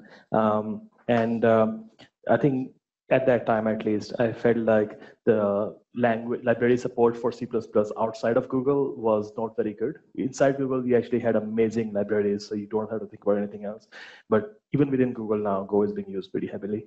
Um, but yeah, Go worked out really nicely because the code is so readable and it is so much more maintainable that uh, you would spend a lot of effort trying to maintain C++ code. So Go worked out like that performance was also great. I mean, as Badger shows and other things show, um, there might be some disagreements about how much Go team exposes to end users, but ultimately, like it, it all works out. Um, the second question was also I wanted to add uh, Go doesn't have memory corruption. C++ it does. So um, GraphQL, I think I liked GraphQL when it came out. This was back in 2015, and um, I showed it to my manager, who was who, be, who was the head of search, uh, and uh, he uh, he he was building MetaWeb. MetaWeb uh, was a building uh, sort of like knowledge graph. So when Google acquired MetaWeb, that's how they got knowledge graph, and they had their own query language called MetaWeb Query Language. So he felt that Graph QL was very close to MetaWeb query language. I did not like Cypher, did not like Gremlin uh, because they will return lists of things and GraphQL would allow you to return a subgraph. You can go from a subgraph to a list. You can't go from a list to a subgraph. Um, and GraphQL was just simpler, so on and so forth. And uh, from the point of view of like, why are we uh, adopting GraphQL now, right? Like on top of GraphQL plus minus, uh, GraphQL is a humongous community with a lot of uh, it's a very rich ecosystem with tooling and solutions. So being able to integrate with that makes a lot of sense. So uh, my question is about adoption of GraphDBs inside uh, more traditional applications, say enterprise apps, versus new age apps. So new age apps, you're building something now, makes a lot of sense. But uh, from your perspective, how have you seen graph databases being adopted in traditional enterprises? And uh, related thing is uh, like what skills do DBAs need to have, right, in order to build that? Um, I think a lot of adoption for dgraph that we have seen has been around greenfield projects, like new projects that the companies have, even though the companies might themselves be traditional. Um, but typically what happens is they are using some graph database. It's not working out for them because of various reasons. And they have a new project and they start to look for the best graph database for that project. Um, and that's when they, they start using dgraph. So I think it's um, in actually in fact all the companies that we know about are using graphs and in fact they have built it so google facebook um, uh, amazon dropbox pinterest uh, airbnb twitter everybody has had to build a graph system right the new yeah, yeah. Actually, Neo4j said in the last race that 20 out of 25 banks in the US, top 25 were using Neo4j. So they get used. Uh, two questions. Uh, if you were uh, writing graph today, would you pick anything other than Go? And second, uh, when and why did? okay, that's the answer. no. Uh, I guess I guess there, there, there, might be a case for Rust. You're like there's a Rust guy right there. Um, I, I I have no idea about Rust. Maybe Elixir. Hmm. Clojure. No. No. no. uh, so second question is when and why did you decide to do dgraph? Yeah. Um, so I was building something similar at Google, right? We we we got this knowledge graph from MetaWeb. Uh, I started working with those guys to see how we could use knowledge graph in web search. And uh, as part of that, MetaWeb actually had a graph database. They were running a single server graph database sort of like Neo4j. Um, and it came to Google, and that's not how Google works. Something cannot be on a single server. It has to be distributed. It has to be, there should not be a single point of failure. And so, in fact, Google didn't even have the machine to run this thing because it required lots of RAM because everything is in one server. Um, and so we started to like figure out how do we replace that, and it was called Graph D. We called it dgraph, right? Uh, so GraphD was a graph daemon, dgraph was distributed graph, and that was actually a project inside Google uh, that we were working upon. Um, but after I left, I didn't think about it, and in 2015, I was doing consulting work with somebody, and I proposed to them that they should be using graph database, but then at the same time realized that all the existing graph databases were not so good. Uh, particularly Neo4j had so many issues, could not scale horizontally, could not perform well. Um, and I felt like I was probably one of the few people who had the experience of building something like this. So why not?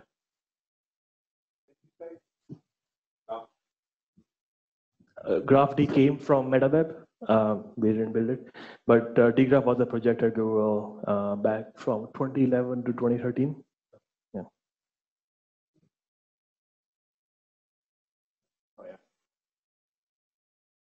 Uh, graph serving system. Yeah, you should read that. We'll say for the recording again. There's a really cool blog post. What's the name? Uh, why Google built a graph serving system. Yeah, Uh, it helped us a lot. I have one question regarding the cache. Yeah. Uh, just before, thanks for Francesc and Manish for these wonderful sessions. Thanks a lot. Uh, the question regarding cache is uh, in the session we mentioned about like the sets gets dropped, there's stale data in the cache. So uh, I'm not sure how. So how it's a two different things, right? A new key comes in, and they make no guarantees about whether we add it to the cache or not, right?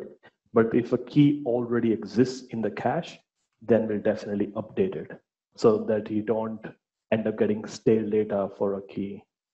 Yeah, because a miss is okay, right? You can deal with the miss, but the problem is like what happens when you get stale data back. Yeah. But thank you. Yeah, one question that uh, how you which tool you use for performance benchmarking of this thing? Go. Uh, No, I Go. mean, like we built something in Go. No, you build on something on Go or you use some inbuilt tool which is written in Go? Um, The performance benchmarking of yeah, the things in the cache. Yeah. Uh, yeah, we wrote some code in Go. your own. Yeah, I mean, the hit ratios were already by Damian Gryski, so we modified them, um, sort of improved. I think Aman did a bunch of that work. And uh, then we, Aman also had built the cache benchmark. Then we built a bit more. So yeah, we covered. And then we actually got help from Ben Manes, who had written caffeine. So he knew specifically about like the right way to do benchmarks.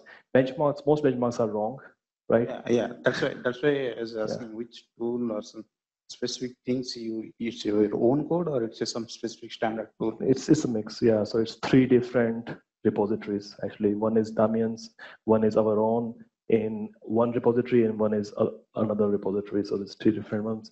But uh, we made sure that like we worked a lot with Ben to make sure that we were doing it right, right? Because it's easy to get wrong benchmarks. Yeah. So there is bunch of questions around. Okay, now there is a lot of tools like uh, Firebase, Input, Badger, uh, and other tools. So how would I pick? And also, like probably sub questions you can think is uh, how much can you scale? Because I have a lot of scalability problem. And there's one with scaling. How would you convince people to use? Um, I can try to answer. Yeah. Uh, so out of all of the things that you mentioned, they're completely different, right? Like uh, uh, Badger and dgraph and Firebase and all these things, they're completely different kind of uh, databases. Uh, so it really depends on what your use case is. dgraph aims to be a general use case database, so you could use it for everything, right? But at the same time, if what you're doing is just doing full scans of a table, then probably use something that stores things in a table, right? So uh, if you're doing something that is analytics, maybe you have Redshift or BigQuery that specific, you know, there's some use cases that are much better uh, handled by those things. In general, what we're trying to build is something that is useful for all the use cases, or at least as many as possible. And in general, it, it- specifically, if you have a lot of different relationships that you might not be aware at, of at the beginning. So if you're merging a lot of different data sets or things like that, it, it makes sense. And when you're doing uh, pre-deep joins or like you're going through just like we were talking about, like uh, starting from Pikachu and going all of the information related to the uh, like up to five levels, that is something that Postgres will not do right? So depending on what you're doing, it's more interesting to do one thing or the other. Uh, I just say, just give it a try. it is it is open source, it is free. try it out, right? Uh, do your benchmarks, and in general, you will see that uh, the performance that we get, except for some specific use cases, is good enough that you could use it in, in production. Scaling wise, it scales horizontally, so you can just keep on adding more machines. And if it doesn't scale enough, let me know. I mean, for me also, like clarification, I understand uh, everything is for a different, but probably let's take uh, just a Badger, Rocksdb, Bolt, uh, or some similar uh, in-memory uh, eval databases. Now, how would I pick it Uh, as in benchmark? Uh, other than that, how would Uh, these are not in-memory databases like Redis is. These are not. Um, so between Bolt and uh, Badger, uh, just pick Badger. um, I think the, the way you would generally think about these things is that Bolt has a different design, right? Bolt is a B plus tree, Badger is LSM tree. LSM trees are really great about giving you very high through write throughput. That that's why Google built that in the first place. Um, so by the RocksDB was built, uh, LevelDB, and then Level was built by Google, and then Facebook did RocksDB. So it was all built at Google. Um, the, the reason to build LSM trees was that they are really good in terms of write throughput, and they still give really good read throughput. However, B plus trees give you better read throughput. Uh, so so I think Badger was sort of like the idea of Badger was similar was to decrease the levels that we have in the LSM tree so that the read throughput of Badger would be kind of closer to B plus trees. And so based on benchmarks, it is indeed like kind of neck to neck, like maybe slightly worse, but like very close to B plus trees, like both. Um, but at the same time, the write throughput then is poof, is is way better uh, than Bolt. Um, so between, um, and then obviously you want to look at like which project is getting maintained and so on and so forth. Like all those things are important. Um, between RocksDB and uh, Badger, if you if I were in C++ land, I'll just probably use RocksDB, right? Um, but if you're in Go, uh, case, in fact, I think we get a bunch of inquiries from uh, these uh, Bitcoin companies, like blockchain companies. They compare Badger against RocksDB, and and some at least sometimes when they come to us, they have found Badger to perform better than RocksDB because of the ability to separate keys from values. So the throughput actually like kind of maintains over many many days if they're doing a lot of writes.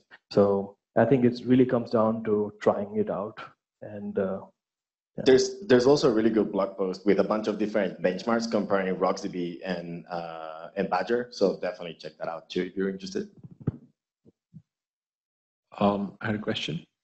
Uh, so as a startup, it's always useful to identify a competitor, right? So who would you consider a competitor to yourself, right? And are you guys worried about uh, like the trend which we have seen over the last couple of years is GCP has been working towards uh, bringing out stuff like Bigtable, Spanner to their customers.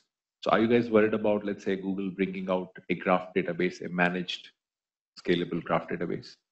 Um, no, uh, I know the the fate of the internal work there, so it's something very custom that they have right now that they can't like launch publicly unless you have something more. Open sourcing something from Google into the outside is incredibly hard.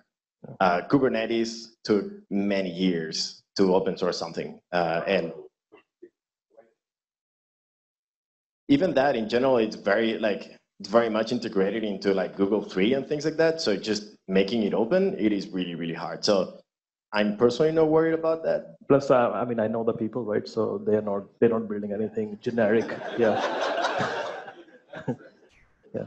Um, the other question was competitors. I think uh, Neo4j is obviously the biggest one. The, the thing is like by the time somebody has reached to dgraph, they already have tried Neo4j. They already know it doesn't work for them, so we don't really see them much as a competitor.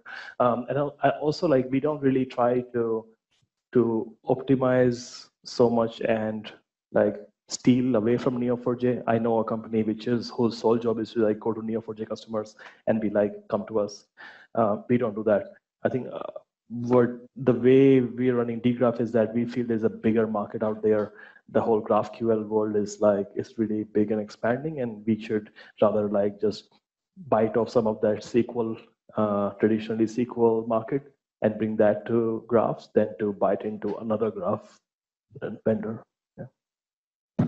Yeah, if we're able to provide something like fully managed database that scales and provides GraphQL, that serves a humongous amount of people, front-end developers, mobile developers, that right now they do not have an option. They need to learn some extra language. To dgraph, I see that uh, for distributed consensus, Raft protocol is. So any plan for like newer data structure like CRDT is going to be supported in the dgraph going forward?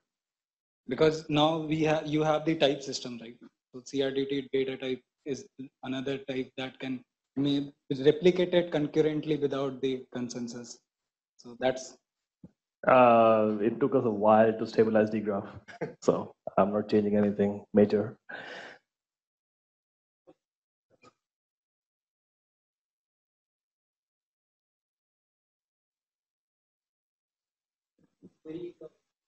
values um, and then increment them, update them however you want. Uh, it happens in one query. So it so kind of gives you some of those things, but not everything.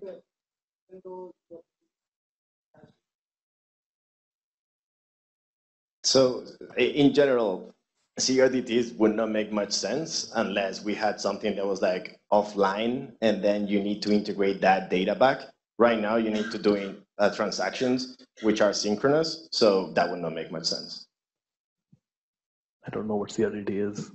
Conflict resolution DT. so type, data type. Uh, quick question. Uh, uh, what are the pros and cons of open sourcing your uh, like dgraph and these these big projects? Like uh, as a company what kind of like benefits or uh, or some kind of uh, competitors taking advantage of that? Like uh, yeah can you yeah. there's a, there's a part which is hiring which by the way we're hiring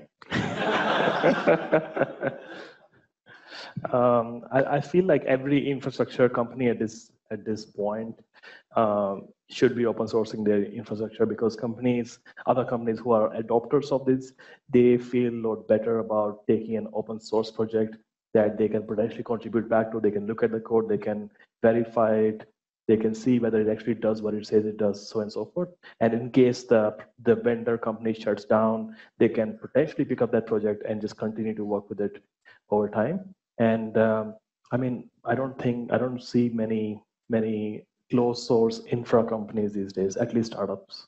There's a counter example of why this should be open source. Uh, I don't know if you heard about Parse. Parse was providing a super cool like Firebase competitor. Facebook bought it and they shut it down. And they shut it down and they were like, oh, but do not worry, we're gonna open source it. By rewriting the whole thing in a different programming language, didn't work. So yeah, being open source from scratch is actually really important if you want to be like a reliant project, regardless of you know the funding that you might get. Yeah, uh, I have a question related to a Badger. Like when you store the data, do you compress, uh, or like you just use a flat buffers? Like I heard one of your talk. Oh, we don't use flat buffers anymore. This was in dgraph. Um, compression is coming, uh, so we have a couple of people working on Badger, including. Uh, uh, right there. And uh, so we added encryption and compression as they're going to coming in. Yeah. Another question, like uh, I was just looking at your repos badger or dgraph, I'm not sure. Like I was just looking at the main method, like you have a get mat process 128 something. Is there any reason like you have given a number? Yeah, we Go was, it was very hard to get like the random read throughput in Go. Um, and uh, I had to bounce it around, ask in forums and stuff, and ultimately ended up in front of uh, what's the name of the guy who's running it? Russ Cox. Russ Cox, yeah. Uh, and and so Russ Russ figured out that the issue was uh, that um, as you run a go routine, which makes a system call. If the system call doesn't like finish uh, in small amount of time, then that that go routine just goes like gets blocked, and then Go has to create a new go routine at some point to replace it. And so the throughput that you can get is sort of multiplexed via the number of Go max procs. So we set it to 128 and actually even 64, and we found that we could then do the random reads on SSDs that we needed for Badger, right? Uh, and that's why we set it. I think that's threats, not go routines. The threats, yeah. Yeah. Yeah. Yeah. Sorry. Hi.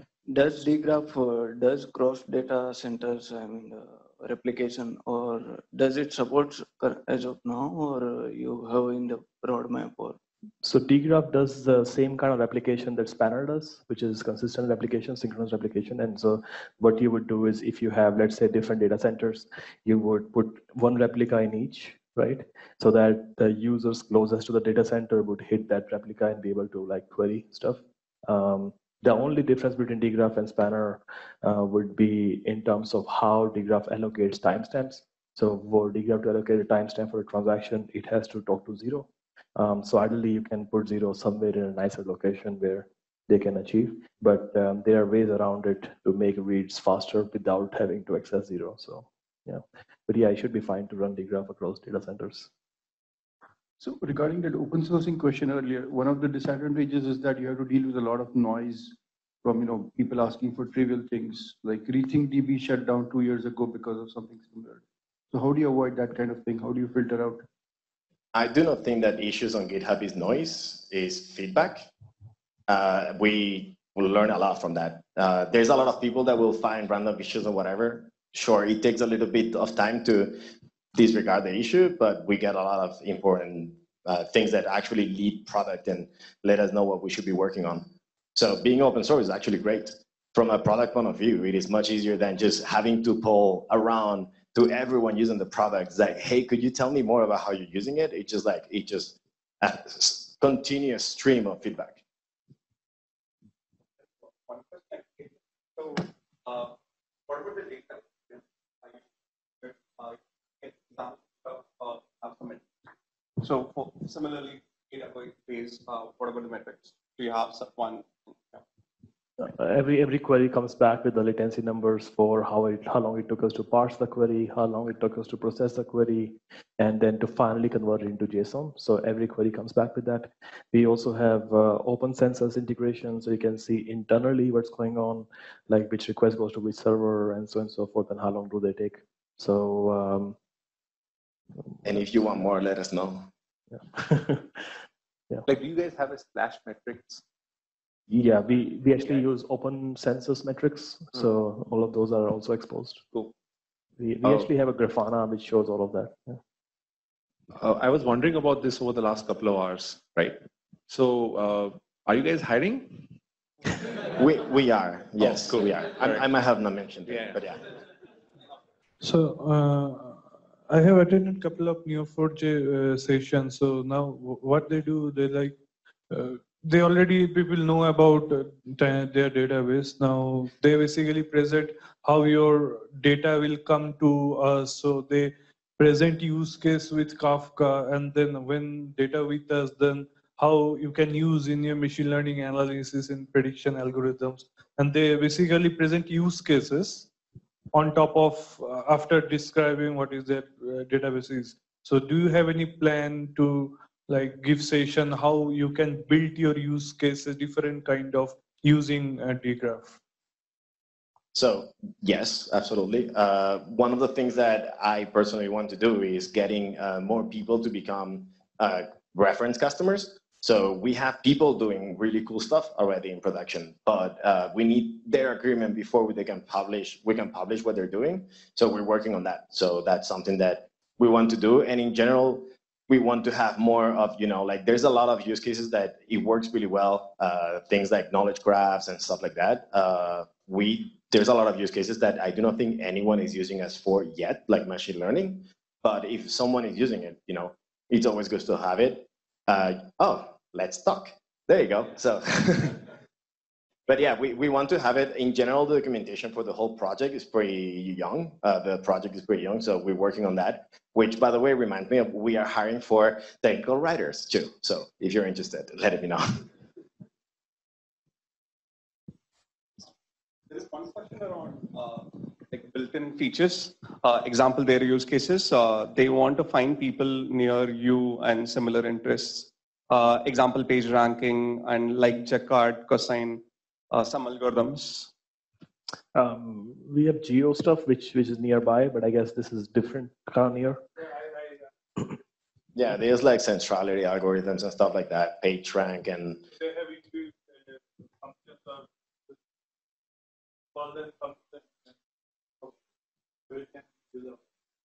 So uh, we have some algorithms there. Uh, I think that we would like to add more. Right now, the question is whether we want those algorithms to be part of the uh, database itself. Basically, the problem is when you're inside of the database, your knowledge of the database is partial. You do not know all of the things that are going on, which makes those algorithms more complicated but more efficient. Or we want to have them as a top thing where you would just have a library that knows how to talk to dgraph, and then you would do those algorithms that would be easier to build and it would be much easier for people to contribute to. But at the same time, you would not get the same performance. So uh, we have not done it. We're thinking about it.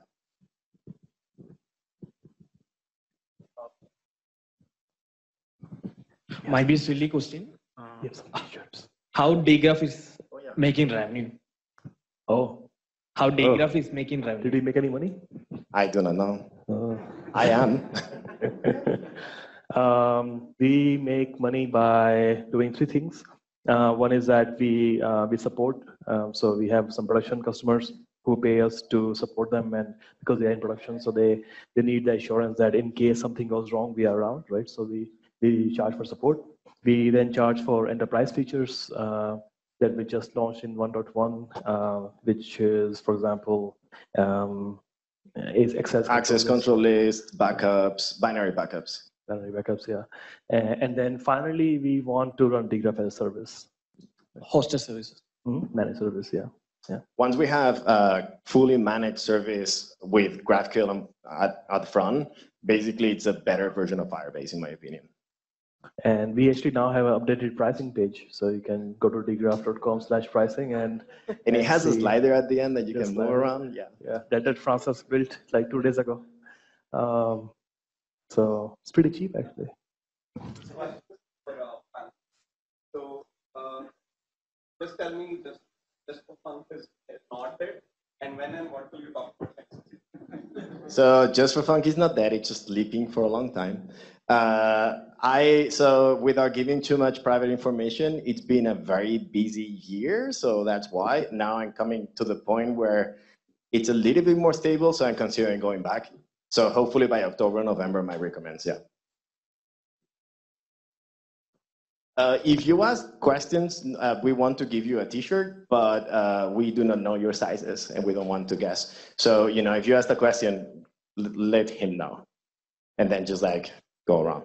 We have uh, a whole bunch of smalls, uh, few mediums, and few extra larges. So my question. Uh, You want a T-shirt? okay. So But when it is B2B or any other startups which customer sees a value, uh, it might be easy for you to convince uh, uh, investors. Uh, this is very dev focused or like developers could understand more of the value of the product.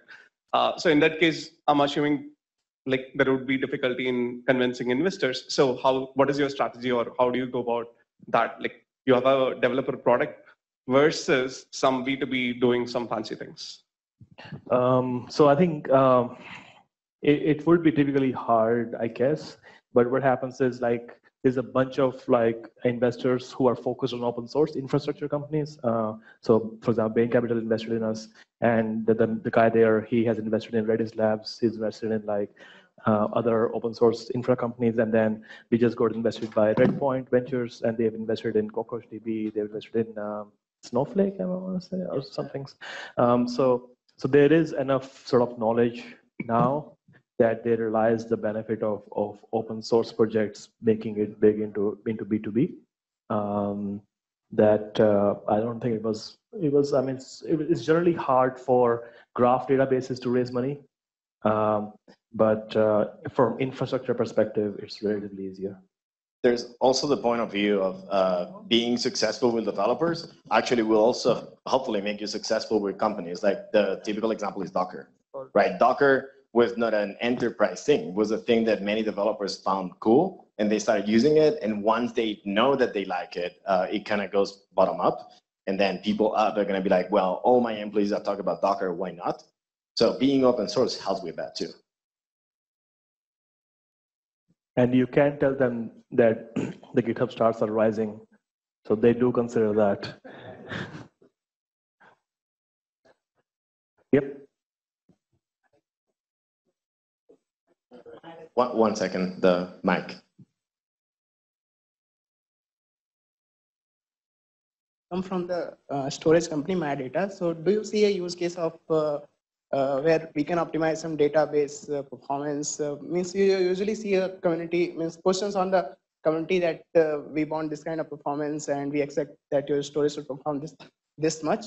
So do you see with any use case where we can optimize our storage and for your database you provide SSDs, hard disks, or so means uh, we have written software to work on any kind of uh, storage, let's say SSDs or SDD or ASCII.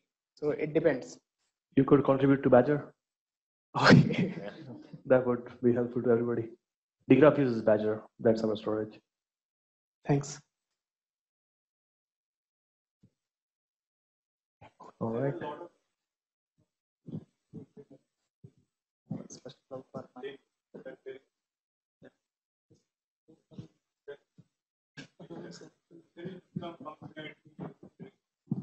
Same in case of like in memory persistency or cache. So did you guys any took any inspiration from this kind of products?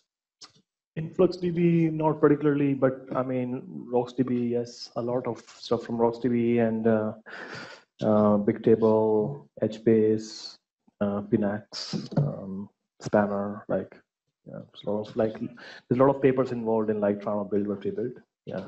Um, yeah. yep. Um, yeah. Uh, hey Manish, uh, I wanted to follow up on the database profiling question. So do you have something for exporting slow queries from the dgraph? Uh, something similar to like the statistic collector from Postgres or the current top in MongoDB? Um, I mean, I think every query comes back with the latency number, so you could technically figure out yourself, like it was slow. Okay, so uh, so what if I want to export it to some third party like Grafana or Prometheus or something like that, or ELK? Probably something like metric beats, which ships logs. So I want something that can uh, that I can use to plug metrics from dgraph to a dashboard. Yeah, you want open census. You want? Yeah, we support okay. open census. Yeah. And we even have a Grafana like dashboard for dgraph. That uh, yeah. It's all out there. Yeah, but if you want tracing for like specific query, what was going on and right. what service it hit and all that stuff, that's exactly. open census. Okay. Yeah. So we have that. In fact, Jaeger, which is what we use written by Uber, actually uses Badger internally. So it's kind of fun. Yeah. So we use Jaeger to like look at our traces and they are using Badger. Yeah. Uh, when you, when you come to for search engines kind of thing, uh, most people like search engines use Apache Solr and stuff for uh, the particular purpose. How do you think uh, dgraph will scale in that kind of domain? That kind of what? Like web searches, like explicitly we use like in my previous company for like indexing searching, right? Index searching. So we were using Apache Solr. So how do you think dgraph will perform, like go with uh, Apache Solr and stuff? I think they use Lucene Index uh, and uh, we also do full text, for example. And so I've heard from some companies who who want to use graph operations on Elasticsearch, for example. And Elastic, I think, says that they have graph operations, but it doesn't do them very well. And so they have tried using dgraph's full text search with um, with with also the graph operations. And so I've heard about those cases, but um, we haven't really benchmarked to see like how fast is dgraph full text search compared to Elastic or Solr, yeah, would be interesting. Take last five questions. Uh, you can still shoot in the questions online, prof. How good is dgraph on top of Kubernetes? Uh, most people use dgraph on top of Kubernetes. So do you have an operator for that or just plain container? We don't have an operator yet. We have, uh, I forgot the word. Um, config? Yes, Helm chart. That's the word I was looking for. Uh, and also just a YAML file that you can deploy if you want to like kubectl create dash f done and you get it running. We don't have an operator. We'll like to work on that eventually to manage things like how often you want to run backups and stuff like that, but we don't have that yet. So uh, how come uh, structured uh, like structured queries uh, perform on uh, GraphDB because like this name indicates it it is supported for graph. But like traditional table type uh, queries and that kind of so will you still recommend uh, GraphDB for sorry uh, dgraph for that? Or will you have different recommendation in that particular case if you have only table based uh, application? Um, yeah, I generally believe that if you're using like if you have more than five tables kind of interconnected, that's a perfect graph use case. And I think with GraphQL, what we're trying to prove that is that graph database can be used for just building apps. And a lot of people actually using dgraph are just building apps using dgraph, social apps or uh, websites even. In fact, one of our, our big users has built an entire platform on dgraph. Um, and they took data from their traditional relational databases, put that into dgraph, and running, building apps on top of it, and real-time analysis, and so on and so forth. Yeah. So yeah, I mean, I absolutely think that if you were using SQL before, you could switch to dgraph. Yeah, in general, if you're using SQL, like uh, you do your relational database, right? Like you're gonna get a row every time. If you, out of the row, that row, you don't care about the whole thing. That's why you use column-based storage, like Bigtable and stuff like that you're going to get a similar advantage with us because we store everything separately too. So any, any, have you seen any relational letters migration to the dgraph? Any, and like enterprise customers? This one I just mentioned, right? So they were, they, they built an entire platform on the no, dgraph. that is for the mobile app or maybe for the enterprise app. Uh, the platform actually is supporting many different things. They they have an app, but they also have like real time analytics and so on and so forth. Yeah, yeah like CRM or uh, Salesforce side. You could build that. Like for instance, if you're thinking about like Airtable and uh, Asana or Trello, all of those things, where they basically you can have links in any way to anything. That's a graph. So that is a very good use case. I do not think that uh, Asana or Trello is using it. Uh, I had a meeting two weeks ago with someone that was building something similar and was considering using us. Hey, um, this is almost certainly a stupid question. Um, but one of the things with databases, especially when you're doing transaction processing, is that you want exactness, right? Uh, whereas when you're working with relationships, like when you're working with graphs, you're looking at it's okay not to be perfect, but it's kind of kind of right, right? You're looking at relationships, like let's say you're finding friends on Facebook.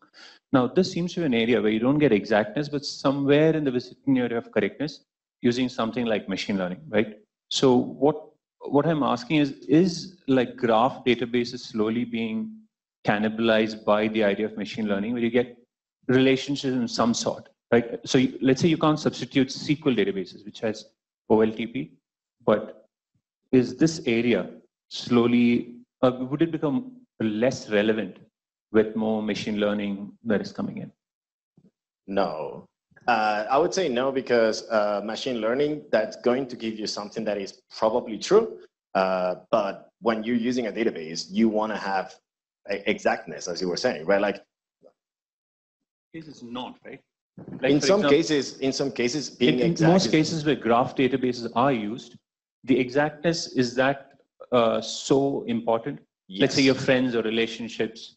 Yeah, imagine imagine if you're looking for a friend, it doesn't appear, or all of a sudden someone that is not a friend of yours appears, right? Like there's some things that uh, we are considering that will basically give you approximate counts. Uh, that is one of the things that uh, using HyperLogLog counts, but that is a very specific use case that you know exactness is not as important because you you you're valuing uh, performance more. in general, we care a lot about validity of the data over performance. Like uh, in v 1.1.0, we ended up having something going three times lower or something like that. Uh, although we had made it like 10 times faster before, but like we made it like three times lower as it was just because otherwise the data was not exact, right? Uh, having the right data in the database is super important. Once you're doing data, uh, machine learning and machine learning nowadays, it, it, there's a lot of research based on machine learning, uh, graph-based machine learning where the input is a graph. Uh, then in there, they still care about the validity of that data, even though the things that they're going to be uh, providing those uh, predictions might not be exact, right? Those are two different fields. When you're storing data, you want to retrieve the same data. When you're predicting things, not being exact is fine. So for us, having the right data is, so, is super important. And that's why, for instance, we have things like, I think we're the only graph database that passes Jepsen test. So Jepsen is basically something is like hell for distributed systems. It just it tries to break it in so many in as many ways as possible, and it's something that we work on. Like it's something that we really care about because it's important that if you store something, it needs to be there later. Yep, yep. There's been a report last year. Uh, this question is more related to feature of the graph where I mean in relational world right we have uh, tables where we define the permissions around it that particular users have some permissions and particular users will have only readability kind of right? So i mean in the D graph, what uh, i mean uh, similar feature uh, is it there? And how how you do define that? Yeah so uh, we have this new feature released with 1.1.0 uh, which is uh, it's called access control lists and they are at predicate level. So what you can say is like this predicate is visible. Like let's say that you know name is definitely not something that people care that much. It's a pretty public thing. So you could say name is completely public, but these are the predicate that contains social security number that is only accessible to this group of people. Yeah, you define it. It's basically access control list based on predicates. And uh, then you have like different users and groups of users and stuff like that. Hi. Uh, I just had a small doubt regarding the alphas and all. Since you said the data is distributed in the alphas and you know the web UI, the Ratel or whatever you call it. So uh, how does it know? What was the function of zeros in there? How does it know from which alpha it has to get the data? So zeros uh, keep track of the membership information, and they stream out the membership information every every few seconds or so to all the alpha. So every alpha knows which data is on which alpha, and they can redirect the queries correctly without talking to zero. Without talking to zero, the alpha also maintains data for the, the other alphas also. Yeah, each each uh, every every server in dgraph has a connection to every other server. Um, they might not be doing anything with it, but they still have an open connection. Um, and so if a query comes to, let's say alpha group one, and some data is in alpha group two, is going to like send the query to alpha group two for that particular part of the query. Because a typical graph query would access many different predicates. Predicates might be on different groups. And so each alpha would serve some data potentially from itself or potentially from other groups. Yeah. And when it does that, it there's things that we use to optimize that even further. Yeah. Okay, uh, this is just my last question to Francesc. So you actually uh, did JustForFunc and you go to a lot of conferences and you have a huge impact and now you're in uh, here as a VP. So what is your, like, how did you manage it? How did you start that community engagement and probably your goals and priorities? Like, how was that? I think that it's a similar answer to what he was saying about how to be a CEO and CTO and all that stuff. You don't sleep much, but uh, in general, I'd say that uh, I try to do what helps the community. So that's partly why I joined dgraph. I think that dgraph has a huge positive impact in the Go community and in general.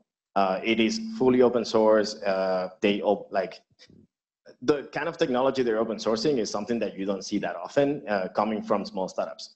Like it's something that I, you would expect maybe Google open sourcing, but not a small company, right? So for me, it was very important, and uh, I keep on going to conferences, even though I try to travel less. Uh, I still travel a lot, and being able to go to conferences and talk about something about a project that I'm sure has a positive impact and I'm proud of, it's always good. Okay, so we shouldn't sleep to do that. I woke up at 5 a.m. today, if that helps. Uh, thank you so much. uh, like you can close it, but you, if you have any more questions, shoot out to them. Uh, they'll be, uh, they, they have their Twitter ID. Uh, you can reach out to them there, right? That's the best way. Yeah. Okay. We have some extra t-shirts, I think, and we have also stickers. We have two small t-shirts. We have two smalls. All right. Thank you, guys. Thank you. Hey, uh, thanks a lot. Uh, can I request all of you to please uh, sit down for like two minutes? Just two more minutes. Uh, first of all, I'd like to thank all of you for coming here. Uh, this has definitely been the most interactive Go meetup we've had this year, or probably last few years, maybe. I mean, we definitely anticipated that it's going to be a very interactive session, but uh, thanks for making it so. And we are we are very happy with the way this has turned out. Uh, big uh, thanks to all the speakers for putting out the content and making this happen. Uh, also, huge thanks to Hotstar for hosting us, especially Deepan, who's here. Uh, uh, just to give you some background, uh, a lot of the planning for this meetup happened in the last one week, and Deepan was the only point of contact from Hotstar who helped this happen. And I know there are a lot of people from Hotstar here helping out. And you guys are doing it despite having a meetup tomorrow, which is a fairly big one. Uh, so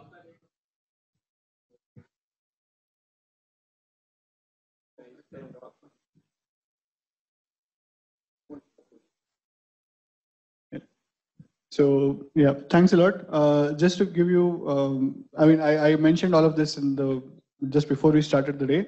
Uh, so among the things that we run uh, as part of the Go Bangalore community, we have two meetup groups. One is the regular monthly meetup group, and we have something else called a Go Study group, which uh, which is an online uh, um, sort of a setting where uh, we have a Zoom call for one hour, uh, typically once in two weeks. Uh, it has been fairly irregular as of now because we are basically looking out for a lot of participation from the community. So if you guys are definitely interested, please uh, pitch in your ideas uh, and that will help us uh, schedule these things uh, in a much better way.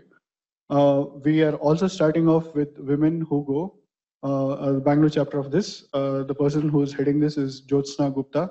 She, she couldn't make it to the meetup today, but uh, we plan to have the first meetup uh, sometime this month. Um, I mean, it's uh, Jyotsna is going to run it. Uh, we are not the organizers for it. Uh, but if you guys, uh, because Jyotsna is not here, if you want some more information about it, please feel free to reach out uh, to us. Um, thanks everyone for like really taking your time out to come. Um, Francesc, thanks a lot. Thanks, Manish. Yeah. Thank you. Okay, now we are Hey, the uh, the second initiative is called Go Study Group.